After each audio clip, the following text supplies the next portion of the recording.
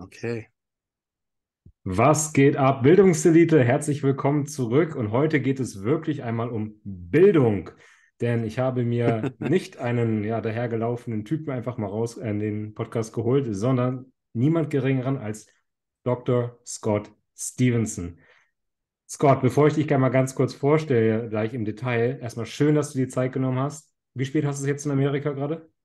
Also wir haben also knapp 1 Uhr nachmittags. Ja. Ja, mitten im Tag. Angenehm, ne?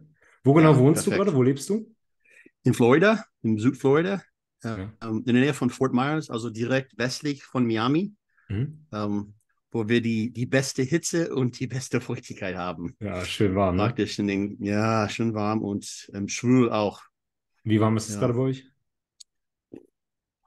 Zentigrad wäre es also 36 vielleicht, Okay, 35. aber hohe. Luftfeuchtigkeit, ne? Ja. immer, immer heiß, aber ich kümmere mich darum. Also lieber Hitze als es ist also Kälte eigentlich Ja. bei mir. Ja. Ich schwitze So. den ganzen Tag, aber ja, ist mir egal. Und dafür hast du einen Ventilator an hinter dir, der regelt. Der macht das schon. genau. genau. Ja, genau. ähm, für die, die dich jetzt nicht kennen, mag ich dich ja mal ganz kurz vorstellen. Wenn ich das alles richtig auf deiner Internetseite gelesen habe, okay. dort bist du ein äh, Doktor, also du hast ein PhD in angewandter Trainingsphysiologie, richtig? Mhm. Ja. Exercise selber- Physiology Ja, sozusagen auf Englisch, ja. genau. Applied Exercise Physiology, korrekt? Genau, Awesome. genau. Dann bist du selber aber auch ähm, Wettkampf-Bodybuilder gewesen, hast auch mehrere Titel gewonnen, ähm, bist seit über 30 Jahren am Trainieren und über 25 Jahren als äh, Personal Trainer und Coach auch aktiv. Mhm. Ähm, und hast auch an der Universität gelehrt, hast mehrere wissenschaftliche Artikel geschrieben und auch veröffentlicht. Ja. Und hast selber halt auch ein Trainingsprinzip begründet, nämlich das Fortitude-Training, mit dem, über das ich nachher möchte, auch noch mit dir reden möchte. Ja. Ist das alles so richtig? ja, genau. Ich bin ein bisschen älter geworden seitdem. Also okay. jetzt bin ich also 42 Jahre dabei beim Training zumindest. Boah. Ja. Ja, also, also oftmals werde ich ähm, im Fitnessstudio gefragt, also wie lange bist du beim Training gewesen? Ich sagte, also wie alt bist du eben? Okay, also zehnmal dazu addieren, Ja. bin ich schon dabei gewesen. Ich bin, bin der alte Reis sozusagen. Damals war es ja noch gar nicht so bekannt, ins Fitnessstudio zu gehen. Heutzutage machen das viele äh, Leute einfach, um irgendwie ihren Körper zu formen und weil das auch ihre, ihre Freunde machen. Wie bist du damals ins Fitnessstudio gekommen? Was hat dich am Bodybuilding interessiert?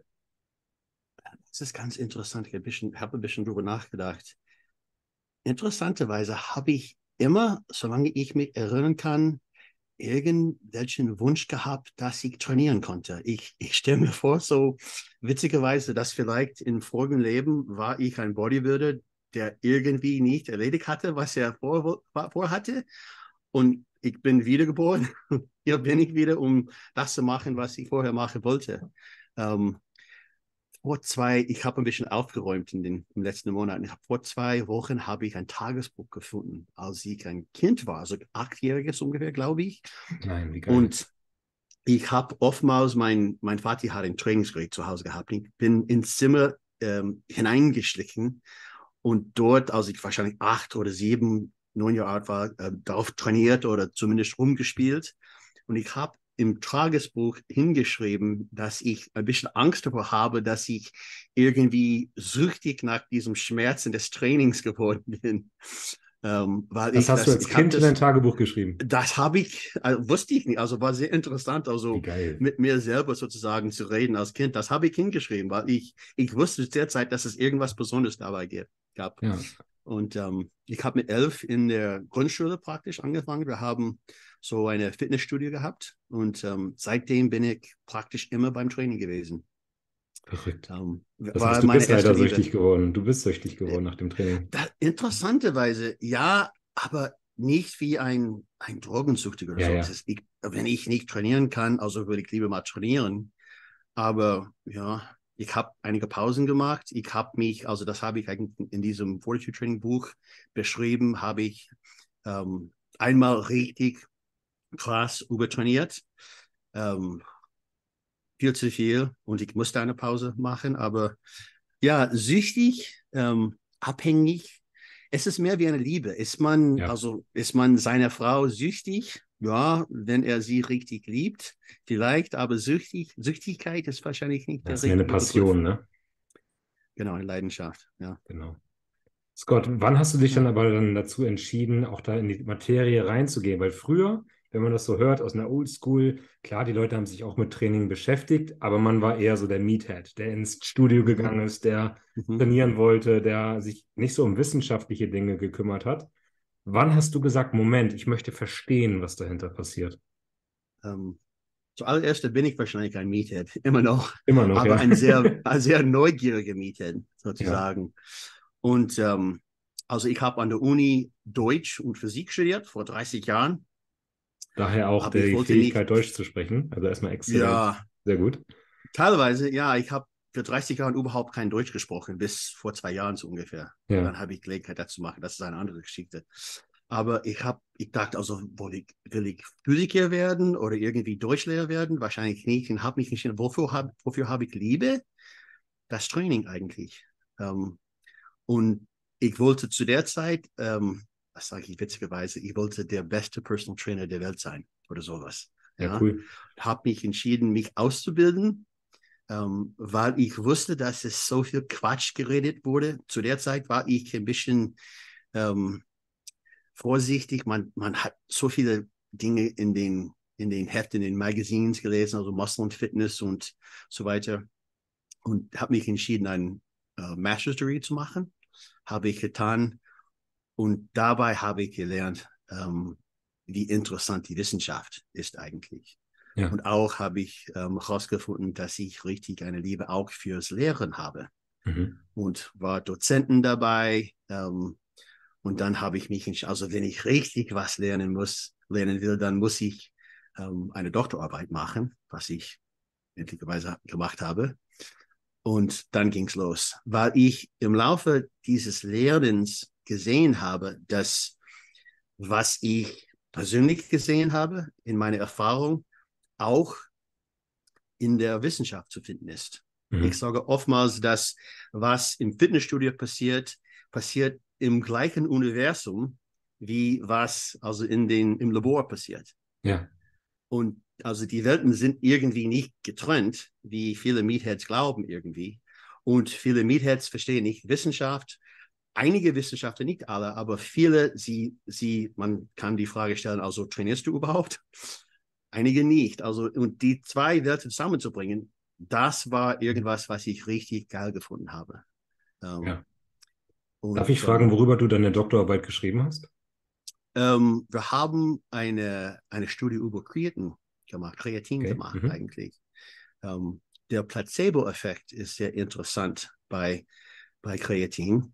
Die meisten Leute, die merken, also wenn sie tagtäglich sich selber wiegen, dann merken sie, dass sie Gewicht zugenommen haben. Ja. Und deswegen haben sie diesen Placebo-Effekt. Deswegen haben wir ähm, Strom verwendet, um ähm, den Quadrizeps zu trainieren. Und wir haben ähm, Muskelfläche, Muskelgröße mit MRT gemessen. Und das eine Bein haben wir einfach allein gelassen, also nicht trainiert. Die, ja. die Probanden haben ihr normales Training ausgeführt und mit dem anderen Bein haben wir mit Strom ähm, den Muskel trainiert. Mit Strom, also es ging überhaupt nicht um, was die freiwillig machen wollten. Sie haben sich einfach da gesessen, also überhaupt nichts kontrahiert, willkürlich und der Strom hat das gemacht. Und mhm. wenn man so einen Muskel trainiert, ähm, kann man schneller Wachstum, Wachstum erzeugen als mit dem willkürlichen Trainieren. Eigentlich okay. sehr, sehr schnell. Ähm, es gibt so eine Hemmung der Spannung, die durch das ZNS erzeugt wird, also um praktisch quasi den Muskel zu, ähm, zu ähm, schützen, ja. dass man nicht einen Stress hat. Und ähm, deswegen kann man richtig krass, zumindest äh, die Motoreinheiten, die durch Strom ähm, kontrahieren, werden praktisch also voll angespannt. Und in den exzentrischen Kontrahieren ist die Spannung ganz hoch, okay. also höher als was man normalerweise erzeugen könnte, aber mit weniger Muskelmasse eigentlich. Und deswegen ist der Reiz sehr, sehr stark. Und ähm, also am Ende des Tages gab es keine Wirkung von Kreatin in diesem Fall. Okay. Ähm, aber wir haben zumindest mal diesen Placebo-Effekt isoliert, indem es ging nicht um, ja, jetzt weiß ich, ich bin auf dem Stoff, ich habe Kreatin in, in der Diät oder ich, ich bin in der Gruppe, in der Kreatinbedingungsgruppe und ähm, wir haben keine Wirkung gesehen. Also mittlerweile wissen wir schon, dass Kreatin eine Wirkung haben kann. Aber fragen, ein Teil ja. davon ist wahrscheinlich eben, dass dieser Placebo-Effekt dabei ist. Das wissen wir. Ja, ähm, von anderen, zum Beispiel ähm, mit Drogen, ähm, Substanzen und Drogen, die für ähm, Depressionen verwendet werden. In den Staaten sehen wir jetzt viele Werbung dazu. Also ja. man, also ich habe keinen Fernseher, aber beim Fernsehen, also praktisch jede Stunde kann man eine Werbung für eine Droge sehen. Und deswegen glauben heutzutage im Vergleich zu vor zwei Jahrzehnten die meisten Leute, dass diese Drogen, die haben eine Wirkung. Sie mhm. wissen, dass sie eine Wirkung haben.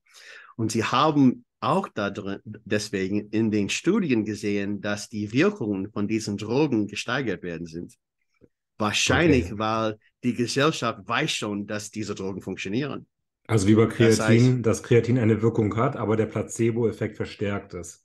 Ist wahrscheinlich. Okay. Es ist schwierig, das zu isolieren. Das ja, können wir ja. nicht mit absoluter Sicherheit sagen, aber ich vermute zumindest, dass das wahrscheinlich passiert. Also das, das ist kein Problem. Also wenn es funktioniert, dann funktioniert es. Es ist egal, ja, wieso. Ähm, aber ich würde mal sagen, ich habe eigentlich mit einem nur heute darüber geredet. Er wollte mal ähm, von mir wissen, welche Pre-Workout sollte er eigentlich verwenden. Ich sagte ihm, also du brauchst sowas eigentlich nicht. Also vielleicht ein bisschen Koffein, also einen Kaffee trinken wäre keine schlechte Idee. Aber es gibt so viele davon. Er hat einfach angenommen, dass er sowas brauchte, um mhm. richtig zu trainieren. Und wenn man so etwas zu sich nimmt, dann merkt man das und dann hat man dazu einen Placebo-Effekt, was auch interessanterweise genetisch bedingt ist. Das wissen wir auch. Es gibt also ungefähr 30 Gene, die mit einem Placebo-Effekt ähm, verbunden sind. Verrückt. Ja, das ist interessant. Es hat mit ähm, Stoffwechsel im Gehirn, also Dopaminausschüttung und so ja, weiter ja. zu tun. Oh, da würde, ja. kann ich noch Stunden mit dir drüber reden, aber ich möchte mit dir eigentlich ein ganz, ganz anderes Thema ansprechen, okay. denn ich glaube, wir alle sind damals ins Fitnessstudio gegangen, wenn es jetzt nicht wegen Verletzungen war, um dicke Muskeln aufzubauen. Zumindest die Männer, die wollen alle massiv aussehen, wollen dicke Muskeln aufbauen. Und die Frage ist jetzt aus wissenschaftlicher Sicht, Scott, mhm. was sorgt denn überhaupt bei der Muskulatur für Hypertrophie? Es gibt immer diese Three Pathways, ne, die man immer nennt. Einmal ähm, äh, Muscular Tension, Muscular Damage ja. und Metabolic Stress, right? Mhm, ja. Was ist deiner Meinung und vielleicht auch aus der Meinung der Wissenschaft jetzt überhaupt maßgeblich der Driver für Hypertrophie? Ähm, auch dazu würde ich addieren, ähm, die richtigen Eltern auszuwählen. Also die Genetik ist, ist echt der Fall. Ähm, ich habe eigentlich einen, einen Vortrag, den ich gebe. Es, ist, es heißt, der Titel heißt so, wieso du nicht wie ein Profi aussiehst. Und ich rede über diese ähm, genetische Verteilung sozusagen von verschiedenen Dingen, die voraussagen, inwiefern man Muskelwachstum erzeugen kann. Ähm, da gehen wir ganz kurz vielleicht reingehen. Was ist denn eine gute Genetik? Mh, hm. äh, ich, wir können ein bisschen ein, ein, ein, ein Stück zurückgehen. Okay, gerne. Ähm, Muskel haben verschiedene Weisen, in denen sie sich an einem Reiz anpassen können. Ja. Und ähm, Muskelwachstum ist vielleicht, je nachdem, welche Genetik man hat, ähm, es ist sehr teuer, Bezug auf Kalorienverbrauch, ähm, Muskel aufzuwachsen. Wir können ja. zum Beispiel einige Proteine, die Myosin-Proteine zu, zum Beispiel verändern, um Ausdauer zu verbessern. Ähm, wir können auch, und einige Wissenschaftler, sie behaupten, dass Muskelwachstum oder Hypertrophie eigentlich so eine praktisch eine Nebenwirkung von Training ist. Mhm. Weil wir merken am Anfang eines Trainingprogramms, dass die meisten Leute sehr, sehr stark werden, also können zumindest schneller stark werden, als sie Muskelwachstum erzeugen können. Ja. Ähm, aber andererseits ist es wichtig, meiner Meinung nach, Kraft, Gewicht auch zu steigern. Ähm, deswegen, eine richtige Genetik ist, ist wichtig, indem man muss, wie kann man das sagen eben, man muss, man muss den richtigen Weg für sich selbst finden, ähm, diese, diese molekuläre Basis auszubeuten, sozusagen. Mhm. Es könnte mal sein, für einen, dass schweres Gewicht am besten dafür sorgt, dass man Muskelwachstum erzeugen kann. Für einen anderen, mehrere Wiederholungen wäre besser. Und ich kann das mit, ähm, mit einer Studie erläutern. Es gibt, gab eine Studie, die, glaube ich, in diesem Jahr ähm, publiziert wurde. Und sie haben so ungefähr 20 Probanden gehabt. Und für die ersten zwölf Wochen haben sie entweder schweres Gewicht trainiert, mit schwerem Gewicht trainiert oder mit höheren Wiederholungen, also leichterem Gewicht trainiert. Und dann nach zwölf Wochen haben sie das abgewechselt. Ja. Okay. Und also die, die obere Hälfte, die waren diejenigen, die am besten respondiert haben. War wahnsinnig gut. Und dann die untere Hälfte, es gab einige, die, die waren die Nicht-Responders sozusagen. Sie haben nicht sehr gut ähm, entweder oder mit schwerem Gewicht oder umgekehrt respondiert. Aber mit nur einer Ausnahme haben alle in der zweiten Hälfte mit dem anderen Programm gut respondiert. Das heißt, man sagt, also hast du verstanden, ja? Ich versuche das gerade nach, nochmal nachzuvollziehen. Also, ja. man hat die Gruppe geteilt. Und die einen haben mit schwerem Training angefangen und danach leichtes Training gemacht, mehrere Wiederholungen. Und die anderen haben mit leichten Wiederholungen angefangen und schweren Wiederholungen, richtig? Ähm, so ungefähr. Also für die ersten zwei Wochen ja. waren sie entweder bei schwerem Gewicht oder leichtem Gewicht. Genau. Und dann die nächsten zwölf Wochen andersrum.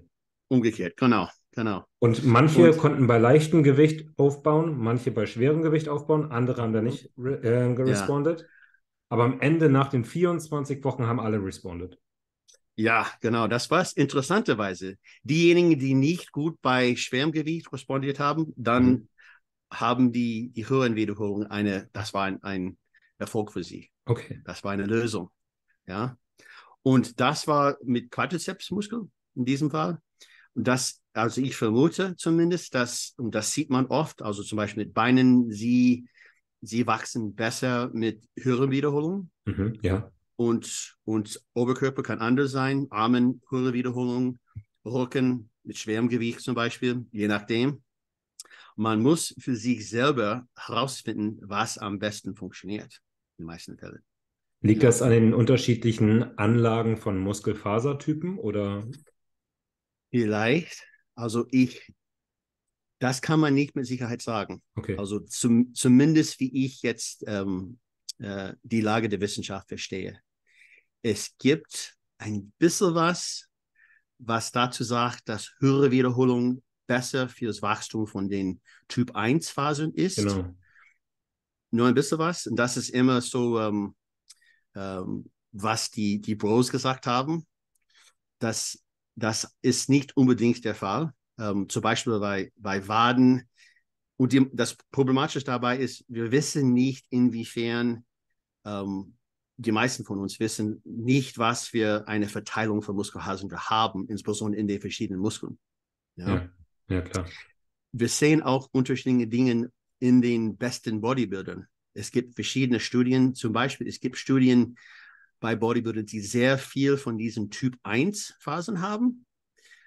Aber wir wissen von den meisten kurzfristigen Studien, die mit Anfängern gemacht worden sind, dass die Typ 2 Phasen am besten wachsen. Ja. Aber mit fortgeschrittenen Bodybuildern sehen wir, dass sie viele von diesen Typ 1 Phasen haben und interessanterweise, dass sie nur die, die Größe der Typ 1 Phasen normal ist. Das heißt, die Phasen sind nicht größer durchschnittlich als ein normaler Mensch. Sie haben einfach mehrere davon. Okay. Und jetzt haben wir dieses Phänomen von Hyperplasie, ja, im Vergleich zu Hypertrophie. Ja. Das, das ist ein ganz anderes Gespräch. Und aber Hyperplasie ist genetisch vorbedingt oder kann man das auch trainieren? Kann man wahrscheinlich trainieren. Inwiefern das passieren kann, ist wahrscheinlich genetisch bedingt. Okay. Aber was die, was die Bedingungen sind, keine Ahnung. Also das wissen wir nicht. Ähm, es gibt eine sehr interessante Studie mit, mit Vögeln eigentlich, die von, es ist schon 30 Jahre alt. Und es, in dieser Studie haben sie, inwiefern ich das weiß, dass ähm, also mehr Muskelwachstum, was ich je vorher gesehen habe. In einem Monat haben sie Muskelgewicht, glaube ich, 260, 270 Prozent erhöht, so ungefähr. Wow. Und das, also in diesem ähm, äh, Programm sozusagen, in dieser Studie haben sie einfach, einfach Gewicht auf den, ähm, auf den Flügeln der Vögel ähm, hängen gelassen. Mhm. Das haben sie also für zwei Tage gemacht und dann für einen Tag eine, einen Erholungstag gehabt und dann haben sie das Gewicht erhöht, so wie bei Progressive Overload. Und sie haben das regelmäßig für einen Monat gemacht. Und am Anfang des Programms haben, also durchaus haben sie immer Muskelwachstum erzeugt. Ja, die haben also jede Woche, glaube ich, einige von den Vögeln ähm, umgebracht, um zu sehen, inwiefern ähm, ein, ein besonderen Muskel, ein besonderer Muskel gewachsen ist. Und so wie, also in, in Menschen wäre das, also du musst mal ein, ein Kurzhantel rumtra rumtragen also den ganzen Tag, tagtäglich. Ja, ja. Und dann sehen wir, wie groß dein Trapezius wird. Ja. Und ähm, am Anfang wurden die Fasern größer. Und das passiert bis ungefähr halbwegs durch, also bis zur zweiten oder dritten Woche. Mhm. Und dann nachdem, obwohl der Muskel immer noch größer, größer geworden ist, sind die Fasern kleiner geworden. Ja, das okay. ist wahrscheinlich, weil am Anfang wir Muskelwachstum durch Hypertrophie haben und dann also im Laufe der Zeit vielleicht auch, was mit den besten fortgeschrittenen Bodybuilder auch passiert, haben wir auch dieses Phänomen von Hyperplasie, die dabei ist. Interessant. Ja, war sehr interessant. Also Mus Muskelwachstum ist, ist regelmäßig gesteigert worden im Laufe des Monats, aber was mit den Phasen passiert ist, ist hat sich verwandelt. Verrückt, obwohl ja der Trainingsreiz nicht anders wurde. Es war dasselbe Training. Mhm. Aber die mhm. Reaktion des Muskels wurde unterschiedlich. Genau, genau. Und inwiefern das in, bei Menschen passiert, also was man im Fitnessstudio macht, ist ganz anders, als was in dieser Studie passiert ja. ist. Aber ähm, wenn wir sehen, also wir haben einige andere Studien, die dazu ähm, hingedeutet haben, dass Hyperplasie äh, eine Möglichkeit in in ähm, Ratten zum Beispiel, in Katzen ist und wahrscheinlich auch in Menschen. Das ist vielleicht irgendwas, was, was im Laufe der Zeit passieren kann. Mhm. Ähm, wie man das erzeugen kann. Ich würde mal sagen, dass wahrscheinlich mit höherem Volumen wäre vielleicht ein besserer Ansatz, um Hyperplasie zu erzeugen. In, in, diesem, in dieser Studie haben sie das den ganzen Tag gemacht. Also die, das Gewicht war immer dabei. Ja. Aber ähm, Wie ja. kann man sich denn jetzt überhaupt Hypertrophie genau vorstellen? Es gab ja früher den Mythos, dass man beim Training die Muskulatur kaputt macht, mhm. die Muskulatur dann Muskelkater kriegt ja. Ne, und sich dann im Heilungsprozess des Muskelkaters vernarbt und dicker wird. Das war ja früher so ein Mythos. Ja. Wie funktioniert Hypertrophie wirklich? Wie kann man sich das vorstellen? Es ist wahrscheinlich nicht eine Vernarbung sozusagen, wo das mhm. passieren kann. Okay. Ähm, es gibt praktisch eine Muskelverletzung, die mhm. passiert. Das wissen wir schon. Wir können sehen zum Beispiel, dass verschiedene Enzyme rauskommen, ähm, insbesondere in den Tagen nach dem, wo man Muskelkater hat. Also es gibt eine Entzündung, einen Entzündungsprozess, die sehr, sehr wichtig ist, glaube ich, äh, aber in der richtigen Menge. Und dadurch gibt es so eine, ähm, eine, einen Umbau der stattfinden, der stattfinden muss. Und insbesondere haben wir drinnen in jedem, in jeder Muskelfaser ähm, diese Myofilamente. Jetzt werden wir ein bisschen fachbegrifflich. Sehr gut, finde ähm, ich gut. Ja. Wenn ich das auf, auf Deutsch machen kann. Und also die dicke und die dünne Filamente, die aus Aktin und Myosin ähm, äh, gemacht werden sind. Und diese Filamente, wir kriegen mehrere davon. Ja. Die werden wahrscheinlich ähm, auf der Außenseite von der, von der Phase aufgebaut und dadurch wird der Phase ein bisschen dicker. Sind das diese Satellitenzellen, von denen man auch spricht? Die sind auch sehr, sehr tief damit verbunden. Das Okay. ist sehr, sehr wichtig. Also außerhalb der Phasen haben wir diese Satellitzellen. Sie sind quasi ähm, Stammzellen, die besonders für die Muskel bes- sorgen, dass sie in, in, im Fall von Hypertrophie mehrere Zellenkerne kriegen können. Wenn ein Muskel, Muskelfasern haben viele Zellkerne, weil sie so groß sind. Ich ähm, verwende oftmals diese Analogie, dass ähm, so wie ein Staat, die größer wird, also wenn die Bevölkerung, weil die Bevölkerung größer wird, brauchen wir ähm, mehrere Postbüro, ja, ähm, um die Lieferung zu machen und so weiter. Und deswegen, wenn ein Muskelfaser größer wird, brauchen wir mehr, mehr Zellkerne und die kommen von diesen Satellitzellen. Okay. Und interessanterweise, diejenigen, die am besten wachsen, die die richtigen Eltern gewählt haben, ähm, haben mehrere davon. Sie haben eine größere, eine höhere Dichte von Satellitzellen und sie, sie schüttern auch ähm, mehr von diesen Wachstumfaktoren raus, die diesen Prozess bei den Satellitzellen ansteuert.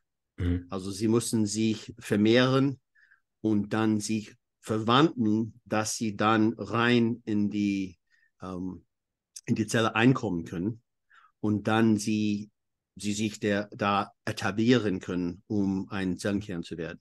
Mhm. Und Wann werden das ist sehr, diese-. Oh, sorry. Bitte.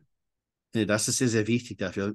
Es gibt einige Studien, also zum Beispiel, wenn man Aspirin oder ähm, Entzündungsgegenmittel zu sich nimmt, ähm, verhindert man, also verhemmt man diese, Ja. diesen Prozess. Ähm, sie kam, können auch in verschiedenen Arten und Weise ähm, in Studien diesen Prozess völlig hemmen und dadurch kriegt man in einigen Studien überhaupt kein Wachstum.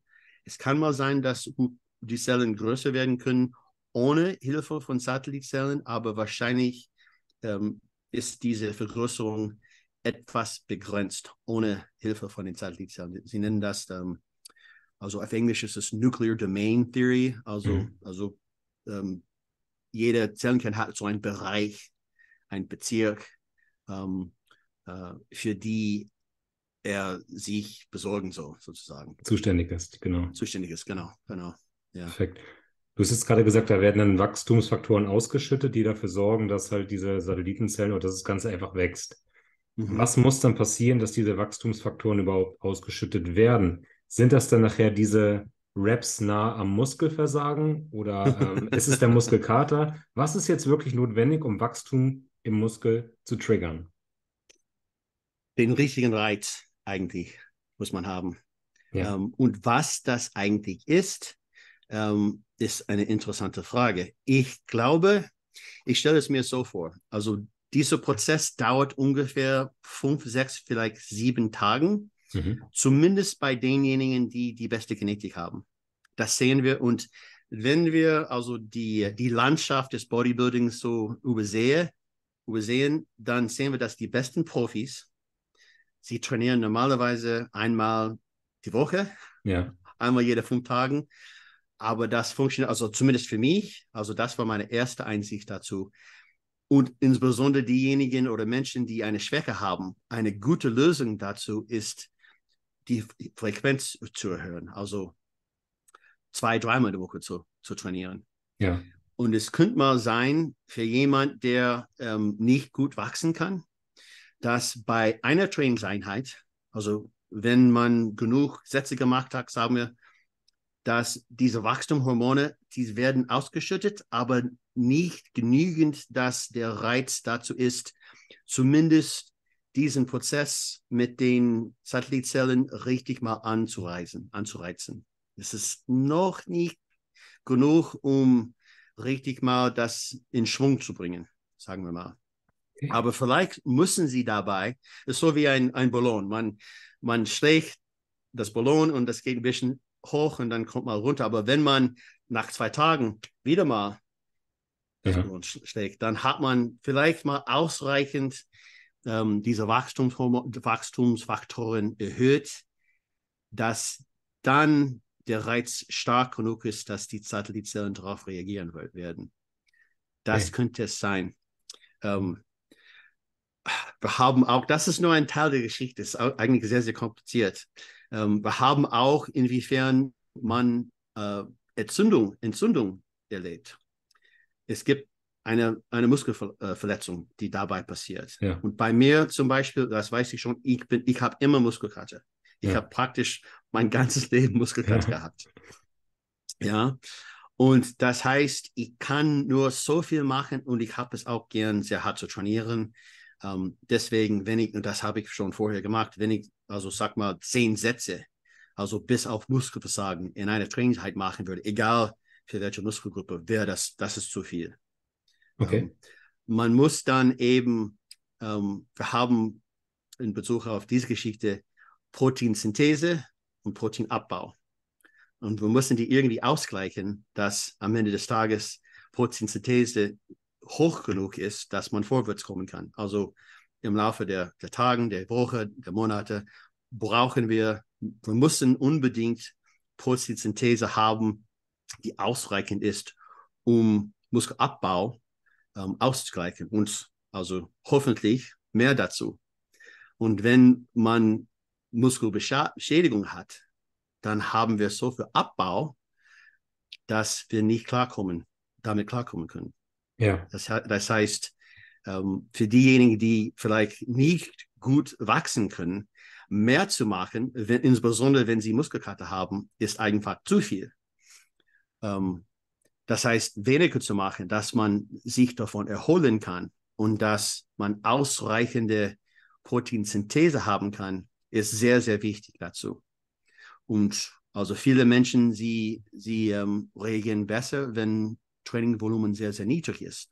Ja. Aber wenn sie sehr, sehr hart trainieren. Ja. Es gibt interessante, ähm, einige Studien ähm, zu diesem Thema. Und sie haben mal versucht zu sagen, also wir, wir können es so ähm, durchdenken. Jedes Mal, wenn man trainiert, setzt man einen Reiz und Proteinsynthese wird erhöht. Das wissen genau. wir schon. Ja? Und man würde denken dann, also am Anfang eines Trainingsprogramms, dass diejenigen, die am meisten Proteinsynthese erhöhen können, die werden die besten, den besten Fortschritte, den besten Fortschritt machen. Genau. Aber das passiert nicht. Also nee, wenn du jeden Tag trainierst, dann wirst du irgendwann diesen, dieses Loch fallen. Genau. Also interessanterweise, wenn Sie am Anfang eines Programms, an, an, am Anfang eines neuen Programms Proteinsynthese messen und dann mal schauen, was am Ende des Trainingprogramms passiert ist, sehen die nicht keine Korrelation zwischen Proteinsynthese am Anfang, am ersten Tag. Aber wir wissen schon, dass am ersten Tag ist der Muskelkater sehr, sehr groß. Ja. Aber wenn Sie, sag mal, zwei oder drei Wochen warten, nachdem der Muskelkater ein bisschen weniger wird, dann ist auch dabei dieser Muskelabbau weniger. Und in diesem Fall, unter, die, unter diesen Zuständen, haben wir dann die Möglichkeit, dass Proteinsynthese hoch genug ist, um nicht nur Abbau auszugleichen, sondern vorwärts mit Proteinaufbau ähm, zu kommen. Mhm. Und wenn Sie dann Proteinsynthese mit Muskelwachstum korrelieren, sehen Sie eine ganz starke Korrelation dazwischen. Das stellt ja jetzt die Frage nach dem, der perfekten Frequenz. Also wie oft muss ich dann jetzt einen Muskel trainieren und wie viel Volumen braucht der Muskel dann in dieser Frequenz? das sind genau, eine... genau die beiden Faktoren, die dann miteinander spielen müssen, richtig? Mhm, ja. Es gibt auch eine, es ist nicht eine perfekte Studie, aber eine sehr interessante Studie, ähm, eine Lieblingsstudie von mir eigentlich. Sie haben so ein, ein, eine Modelle verwendet, in dem jeder Proband hat hoppla, jeder Proband hat äh, das eine Bein entweder zwei oder dreimal die Woche trainiert ja. und das andere fünfmal. Ja? ja? Bei jeder Trainingseinheit war es drei Sätze bis Muskelversagen. Das heißt, sie haben beide Frequenz und auch Volumen verändert ja. in den verschiedenen Bedingungen. Und am Ende des, des Tages, am Ende des Trainingprogramms, gab es überhaupt keinen Unterschied. Egal, fünfmal, dreimal oder zweimal der Woche. Also durchschnittlich. Und das ist die Absicht von solchen Studien, um herauszufinden, ob können wir dann, also nach deiner Frage, können wir dann im Voraus sagen, dass zwei, zweimal die Woche besser als fünfmal die Woche ist. Im Allgemeinen. Wenn wir, so ich habe einen Kunden und ich sage mal, also wäre es besser, zweimal die Woche zu trainieren oder fünfmal? Von, von dem Durchschnitt, von der Statistik dieser Studie haben sie, gab es keinen Unterschied. Und dann ein paar, paar Jahre später haben sie die, die, äh, die Daten von den Individuen angeschaut. Und dabei haben sie gefunden, wenn sie, und sie haben zwei und dreimal ähm, die Woche zusammengestellt. Also deswegen haben sie zwei, zwei oder dreimal mit fünfmal verglichen. Ja. Also bei ungefähr die Hälfte, also ich meine, ein Drittel davon war zwei oder dreimal besser als fünfmal in der Woche. Und bei einer, bei der, bei einer anderen Drittel war es umgekehrt, also fünfmal war besser als drei oder zwei oder dreimal. Und dann also bei einem Drittel war es egal. Ja, sie haben auch diese, ähm, die, diejenigen, die richtig sehr gut gewachsen sind und dann andere, also praktisch nichts. Es gab einen Probanden da drin, also für ihn, also, also Krafttraining war, war nicht dein Ding, also egal, ob er zwei oder dreimal oder fünfmal eine Woche trainiert hat, also kein Wurzelwachstum. Wir wissen nicht warum. Okay. Es könnte mal sein, dass er überhaupt keinen Bock auf Training gehabt hatte. Also der wollte, er, vielleicht wollte er nur das Geld, ähm, also die, die Lohnung von dem Training ja, ja. kriegen oder was. Es könnte einfach seine Genetik in Bezug auf, wie sein Wachstum, also wie seine Muskeln darauf reagiert haben. Oder es könnte völlig psychologisch sein. Wir wissen es nicht genau. Deswegen können wir nicht sagen. Das ist auch ein anderes Thema, ein anderes, ein anderer Teil sozusagen dieser Frage. Mhm. Aber wir wissen zumindest davon, dass einige besser von höhere Frequenz und auch Volumen in diesem Fall reagieren werden und umgekehrt. Und von, den, von der vorigen Studie wissen wir auch, dass wenn ein, ein Ansatz nicht passt, also höhere Wiederholungen oder höherem Gewicht, dann können wir einen anderen Ansatz finden, was wahrscheinlich ähm, funktionieren wird. Also wie immer, es ist sehr individuell und it depends. it depends, genau. Ach, so ein Scheiß. ja, so ein Scheiß. Aber das ist es eben. Also das, das ist ähm, also auch dazu ähm, psychologisch angesehen. Ähm, du kannst dir vorstellen, wenn zu, zum Beispiel du hast einen Trainer gefunden oder hast einen, einen Trainingspartner gefunden und der ist ein, ein, ein Verrückter ja, der, wird, der trainiert wie der Teufel und das ist überhaupt nicht dein Ding. Oder umgekehrt. Ich habe auch Trainingspartner gesehen oder gehabt, die eigentlich nicht richtig wie ich trainieren wollten. Ja, ja. das passt nicht. Also wenn der Trainingsansatz, das Trainingsprogramm nicht richtig für dich ist, dass du keinen Bock drauf hast, also in dieser Art und Weise zu trainieren. Vielleicht du wirst also kein Kniebeugen machen, also dreimal die Woche oder egal welche ähm, Übungen oder Wiederholungen oder was, dann, dann wird das, das könnte mal also kurzfristig funktionieren, weil der Reiz neu ist, aber du musst irgendwie einen Antrieb haben, sich zu pushen, also richtig mal vorwärts zu kommen. Das ist am wichtigsten, was es nachhaltig ist irgendwie. Ähm, das heißt, du könntest mal vielleicht das perfekte Programm gefunden haben. Also je nach deiner Genetik, ja.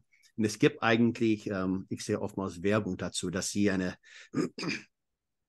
die kann, die, also so behaupten diese, diese Firmen, dass sie irgendwie dich genetisch analysieren könnten und mhm. dann würden sie mal, also es gibt keine, keine Daten dazu, mhm. so viel ich weiß. Also, sowas haben sie nicht. Wir wissen, dass bes bestimmte Genen sorgen dafür oder ähm, damit verbunden sind, dass zum Beispiel jemand dann sehr schnell laufen könnte oder was auch immer. Aber wir haben keine, das ich, von dem ich weiß, wir haben, von denen ich weiß, wir haben keine Informationen, die sagen, dass wenn du dieses Genprofil hast, dass du dadurch am besten zu diesem Programm reagieren wirst. Das haben wir nicht.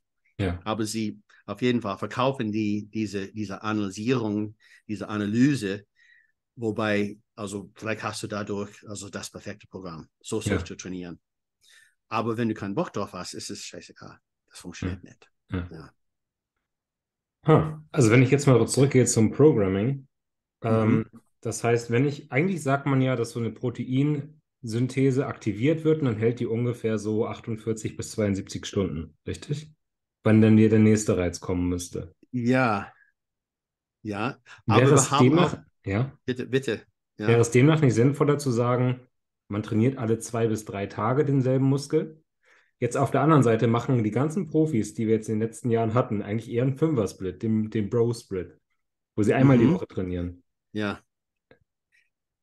Und ich es glaube, es eine, Entschuldigung, ja. ist es jetzt nicht, ist es jetzt nur eine Frage, quasi wie viele Sätze man in der Woche macht, also wie man das Volumen anpasst, dass wenn man einmal die Woche trainiert, hat man halt mehr Volumen, bei zweimal die Woche teilt man das Vol- Volumen auf, oder ist es wieder so ein typisches It depends? ist immer it depends. Also Okay. immer praktisch. Aber haben, jeder für sich selbst hat eine bestimmte Dosung, Dosis-Wirkungskurve, sagen wir Mhm. mal. In Bezug auf Intensität, also wie, wie hart man sich anstrengt, in Bezug auf Volumen und wahrscheinlich in Bezug auf Frequenz. Ähm, in Bezug auf Frequenz, wir haben schon diese Geschichte mit Proteinsynthese. Also je, je mehr man trainiert, je trainierter man wird, desto kürzer wird also diese, ähm, dieser Zeitraum, währenddessen Proteinsynthese erhöht wird. Also es kann weniger als 24. Okay. Also zumindest was wir messen können, ist sehr, sehr kurz. Aber wenn wir zum Beispiel Muskelkater anschauen, das kann vier, fünf, sechs Tage dauern. Ja. Wenn wir die Satellitzellen anschauen, wir haben nicht viele Daten darüber, aber der, dieser Vorgang dauert fünf bis sieben Tagen vielleicht. ja. Ja? Deswegen, man, man setzt einen Reiz und wenn man ähm, nicht lang genug wartet, haben wir die Möglichkeit, dass man vielleicht wieder mal den Muskel verletzt und den Reiz quasi zerquetscht. Ja? Ja. Oder sich zurücksetzt. Insbesondere, wenn man zu viel macht. Aber wenn man die richtige genetische Veranlagung hat, kann man den Reiz setzen und dann setzt man, man, man sagt den Satellitzellen, also jetzt vorwärts gehen. Und das wird ungefähr eine Woche dauern, könnte eine Woche dauern, vier, fünf Tagen. Und ich glaube, dass weil die besten Profis wahrscheinlich die beste Veranlagung haben, im Allgemeinen kann man das sagen, glaube ich, die, wenn sie einen Reiz setzen, wenn sie einmal trainieren, setzen sie diesen Vorgang in Schwung mit den Satellitzellen und der dauert ungefähr eine Woche. Deswegen ist es logisch, eine Woche zu warten. Aber wenn man nicht genetisch begabt ist, vielleicht ist es vernünftiger, ein bisschen einen, einen kleineren Reiz zu haben, aber frequenter in der Woche zu trainieren, dass man Wachstumsfaktoren erhöhen können, also nicht so eine starke Verletzung haben, weil wenn man zwei Tage später tra trainieren will, dann funktioniert das nicht. Man braucht ein bisschen Zeit. Und Mhm. das ist das Schwierige, wenn man nicht richtig genetisch begabt ist. Ähm, ich sage immer, ähm, das sage ich auch in diesem Vortrag, ähm, guck mal an, also such mal den aus, der den gleichen Weg wie du, dem gleichen Weg wie du gefolgt ist. Ja. Ja, zum Beispiel, wenn, wenn Phil Heath, Ja. der ist der, der best, das beste Beispiel, also The Gift, also der ist, der ist die Gabe, der hat die Gabe für Muskelwachstum. Er, und man kann sein Training, der ist oft dafür kritisiert, dass er nicht sehr hart trainiert hatte. Ja. Das musste er nicht machen. Ja? Seine Veranlagung war einfach zu trainieren und dann wachsen die Muskeln von Haus Ja. aus. Ja. Aber die meisten von uns, wir müssen eigentlich unsere Genetik ausdrücken, irgendwie dieses, ähm, dieses Wachstum rausquetschen ähm, und die richtige Menge von Reiz und Frequenz und vielleicht warten. Es könnte mal sein, dass man nur sehr, einen sehr kleinen Fortschritt machen kann, weil man nur also einmal die Woche trainieren kann. Und dann muss man warten und hoffen, dass wenn Hypertrophie durch die eine Train Trainingseinheit erzeugt wurde, dass man im Laufe der Woche nicht dann wieder atrophiert und zurückgeht. Mhm. Mhm. Aber wenn man zu schnell und zu oft trainiert, dann geht man auch rückwärts. Ja. Und darum geht es. Aber auch das ist ja dieser Sweet Spot, den jeder für sich selber herausfinden muss. ja, bei jedem Muskel wahrscheinlich. Ja. Ähm, Stimmt. und dann haben wir auch die Geschichte, dass man den ganzen Körper trainieren muss. Und das ZNS ist auch limitiert. Ja, unser Immunsystem ist auch limitiert. Und also die Muskeln kann, können wahrscheinlich besser wachsen, als wir das erzeugen können durch normales Training. Ja. Und das ist eine ganz andere Geschichte. Aber bei jedem muss man einfach ähm, seinen, seinen eigenen richtigen Weg finden. Praktisch für jeden Muskel. Ja. Aber Muskelkater ist ja jetzt kein Indiz für Hypertrophie. Es ist ein Indiz dafür, dass der Muskel überlastet worden ist, vielleicht, aber jetzt nicht. Mm. Du kannst auch wachsen, ohne Muskelkater zu haben, richtig? Das stimmt, das stimmt. Ja, ähm, mein guter Freund John Meadows, der leider gestorben ist, ja. der hat gesagt, als er am, am besten gewachsen ist, dass er praktisch nie Muskelkater hatte. Mhm. Ja? Und zu der Zeit hat er auch sich sehr, sehr gut ernährt. Ja. Hat zum ersten Mal richtig Inter-Workout Nutrition verwendet. Also, also Ernährung rund ums Training, was sehr, für, für einige sehr, sehr äh, erfolgreich sein kann. Das ist auch meine Erfahrung gewesen. Und ähm, wir haben auch dazu, und die meisten, also ich höre immer noch dieses, es ist quasi ein Märchen, dass man muss nur, nur so trainieren und dann kann man nur dadurch Muskelwachstum erzeugen. Aber die Ernährung ist wahrscheinlich für, für viele wichtiger als das Training in einigen Fällen. Also zumindest nachdem man ein bisschen ähm, fortgeschritten ist. Ja. ja. Wir brauchen die Energie dazu. Und quasi in also 99 Prozent der Studien haben sie, sie kommen praktisch nicht um Ernährung bei den Probanden. Sie lassen das einfach raus. Sie nehmen an, was es eine gute Annahme ist, dass das in beiden Gruppen, in allen Gruppen gleich sein wird. Ja. Und sie, sie hoffen, sie können so ein Tagesbuch machen, aber es funktioniert meistens bei den Probanden. Sie hoffen, dass das nicht verändert wird. Ja? ja. Aber um richtig mal, insbesondere wenn man kein Anfänger ist, ähm, Muskelwachstum zu erzeugen, braucht man die Energie, man braucht, man braucht Protein, Eiweiß, aber die Energie ist ganz, ganz wichtig. Und jeder fortgeschrittene Bodybuilder weiß das schon. Das, das funktioniert überhaupt nicht. Ja. Es könnte mal sein, dass man also einen sehr guten Reiz gesetzt hat bei jeder Trainingseinheit, aber die Ernährung einfach nicht ausreicht. Das ist, das ist eine ganz große Möglichkeit bei vielen. Und das ist nicht angenehm. Also wenn man, wenn man schwer geworden ist, immer noch also ähm, fressen zu müssen. Ja, ähm, und du hast auch ganz viele andere Entzündungen dann im Darm und du, alles, was dich mhm. limitiert. Ja. ja, ja, das stimmt. Du hast jetzt gerade gesagt, wenn du einen Reiz gesetzt hast. Jetzt ist jetzt ja. auch mal die Frage, wann ist der Reiz denn gesetzt? Wann ist genug? Oder wie setze ich überhaupt einen Reiz? Ich mag mal ganz kurz meine Vermutung äußern. Ich glaube, der ja. Brad Schonefeld hat gesagt, dass ähm, im Prinzip die letzten Wiederholungen vor dem Muskelversagen, dass das die wichtigen sind, die Effective Reps.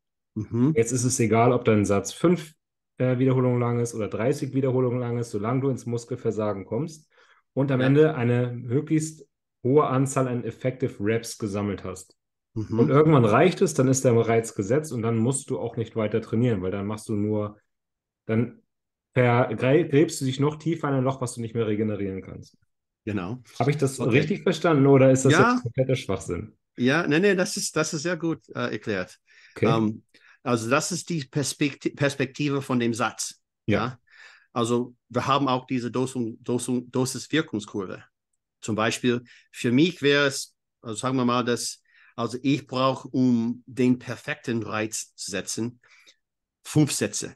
Das heißt, ich mache einen Satz, da, dabei habe ich vielleicht einen kleinen Reiz, aber weil ich zu fortgeschritten bin, das funktioniert nicht, dass ich vorwärts dadurch kommen mhm. kann. Fünf Sätze also, pro Übung oder fünf Sätze für eine Muskelgruppe? Für eine Muskelgruppe in, eine, okay. in einer Trainingseinheit, sagen okay. wir mal. Ja, für Brust. Okay. Aber ich könnte einen Satz machen und wenn ich fünf von diesen Sätzen machen würde, würde das ein, ein, ähm, ein Reiz sein.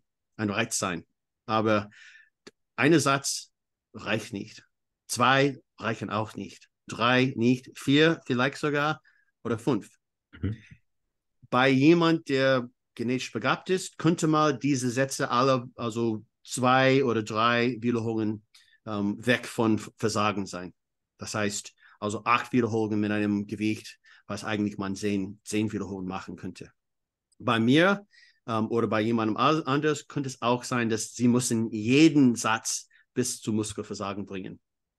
Es kommt darauf an. Also ich vermute, meiner Meinung nach ist es eben, wenn man Anfänger ist, und das hört man oft, man kann mit Volumen Anstrengung ersetzen. Ja. Das stimmt eben. Man könnte, also sagen wir mal, zehn Sätze machen und zwei oder drei Wiederholungen ähm, vor Muskelversagen bei jedem Satz aufhören. Und dann sammelt man quasi diese effektiven Wiederholungen dadurch. Mhm. Oder man, also sag mal, dass man kriegt dadurch zehn effektive Wiederholungen mit zehn Sätzen. Zehn Sätzen. Andererseits, man macht fünf Sätze und bis zum Muskelversagen und man kriegt bei jedem Satz zwei effektive Wiederholungen. Sind sie gleich? Hm. Vielleicht, vielleicht nicht. Kommt darauf an. Wir haben diese Studie zum Beispiel. Ähm, und in dieser Studie haben sie, haben, also angeblich hat jeder Proband bis auf Muskelversagen trainiert. Ja, angeblich. So war es.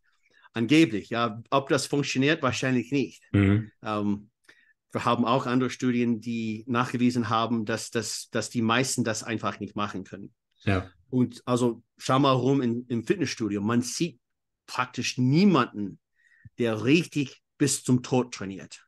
Ja. Also wie Roman Fritz zum Beispiel. Es gibt ja. äh, ausreichende Video Videos von ihm, wie er trainiert. Also wenn man von den Augen blutet, dann ist man vielleicht bei Muskelversagen. Aber die sie wollen das einfach. Es ist völlig unangenehm. Man muss ein bisschen also äh, bescheuert sein, um so hart trainieren zu wollen, eigentlich, glaube ich. Aber für jemand, der schon mal fortgeschritten ist, ist es womöglich der Fall, dass er so hart trainieren muss, um vorwärts zu kommen. Weil was eigentlich effektiv ist bei jedem Satz, ist wahrscheinlich anders, wenn man fortgeschritten ist, als wenn man Anfänger ist. Wenn man anfängt, also einfach ein bisschen mal mit dem Gewicht rumzuspielen, reicht, vorwärts zu kommen. Ja, man muss nicht bis richtig, bis zum richtigen Muskelversagen kommen.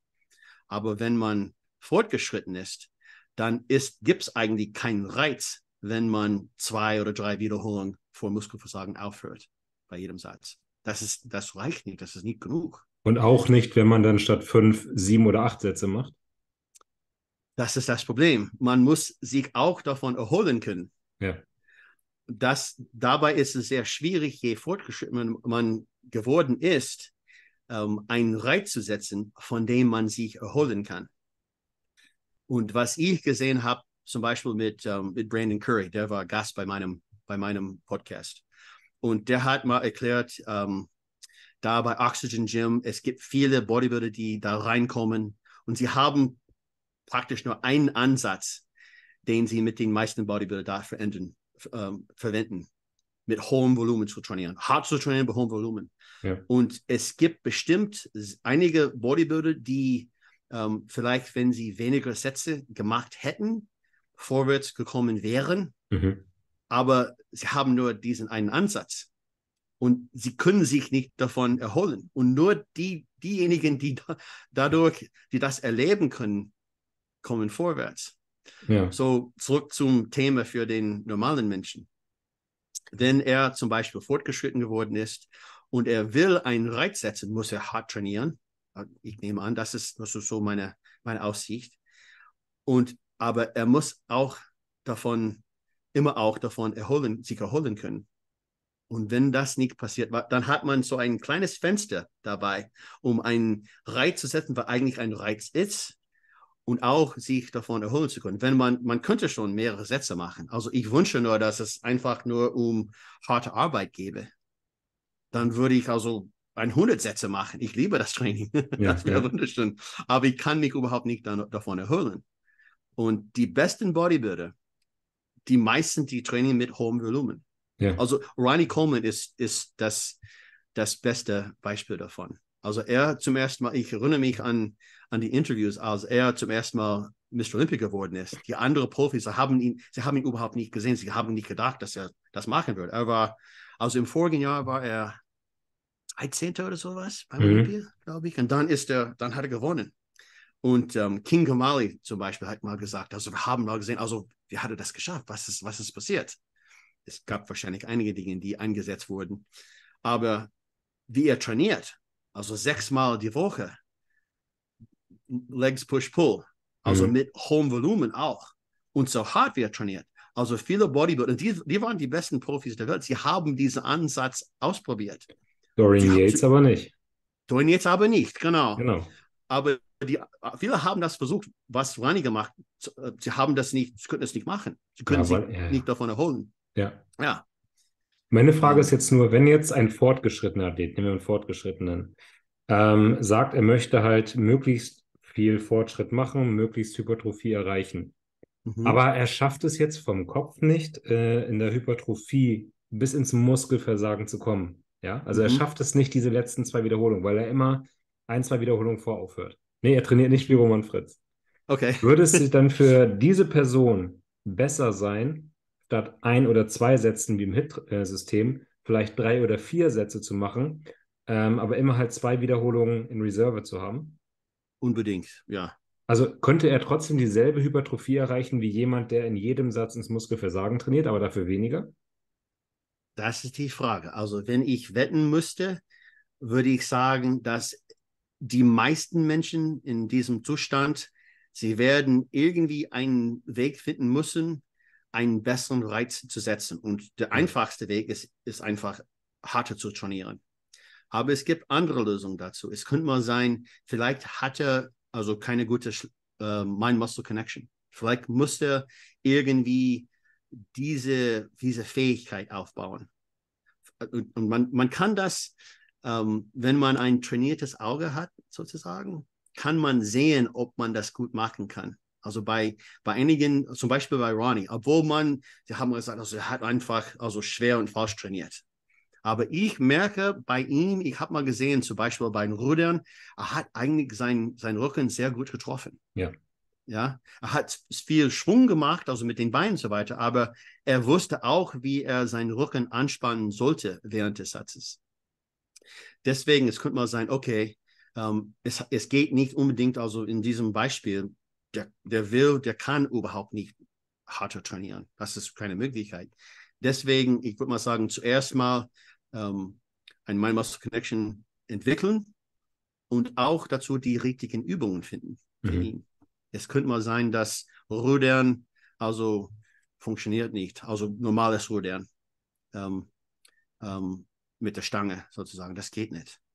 Ähm, es könnte mal sein, obwohl ich nicht, also im Allgemeinen ein großer Verfechter davon, also, also mit der einen Arme, also mhm. Rudern, so, also irgendwas, also sehr, ähm, ähm, ja, das sieht man so oft. Das, ich glaube, das ist für, für viele Menschen ist das irgendwie so ein Weg, ist ein Weg, also das, die Übungen leichter zu machen. Ja.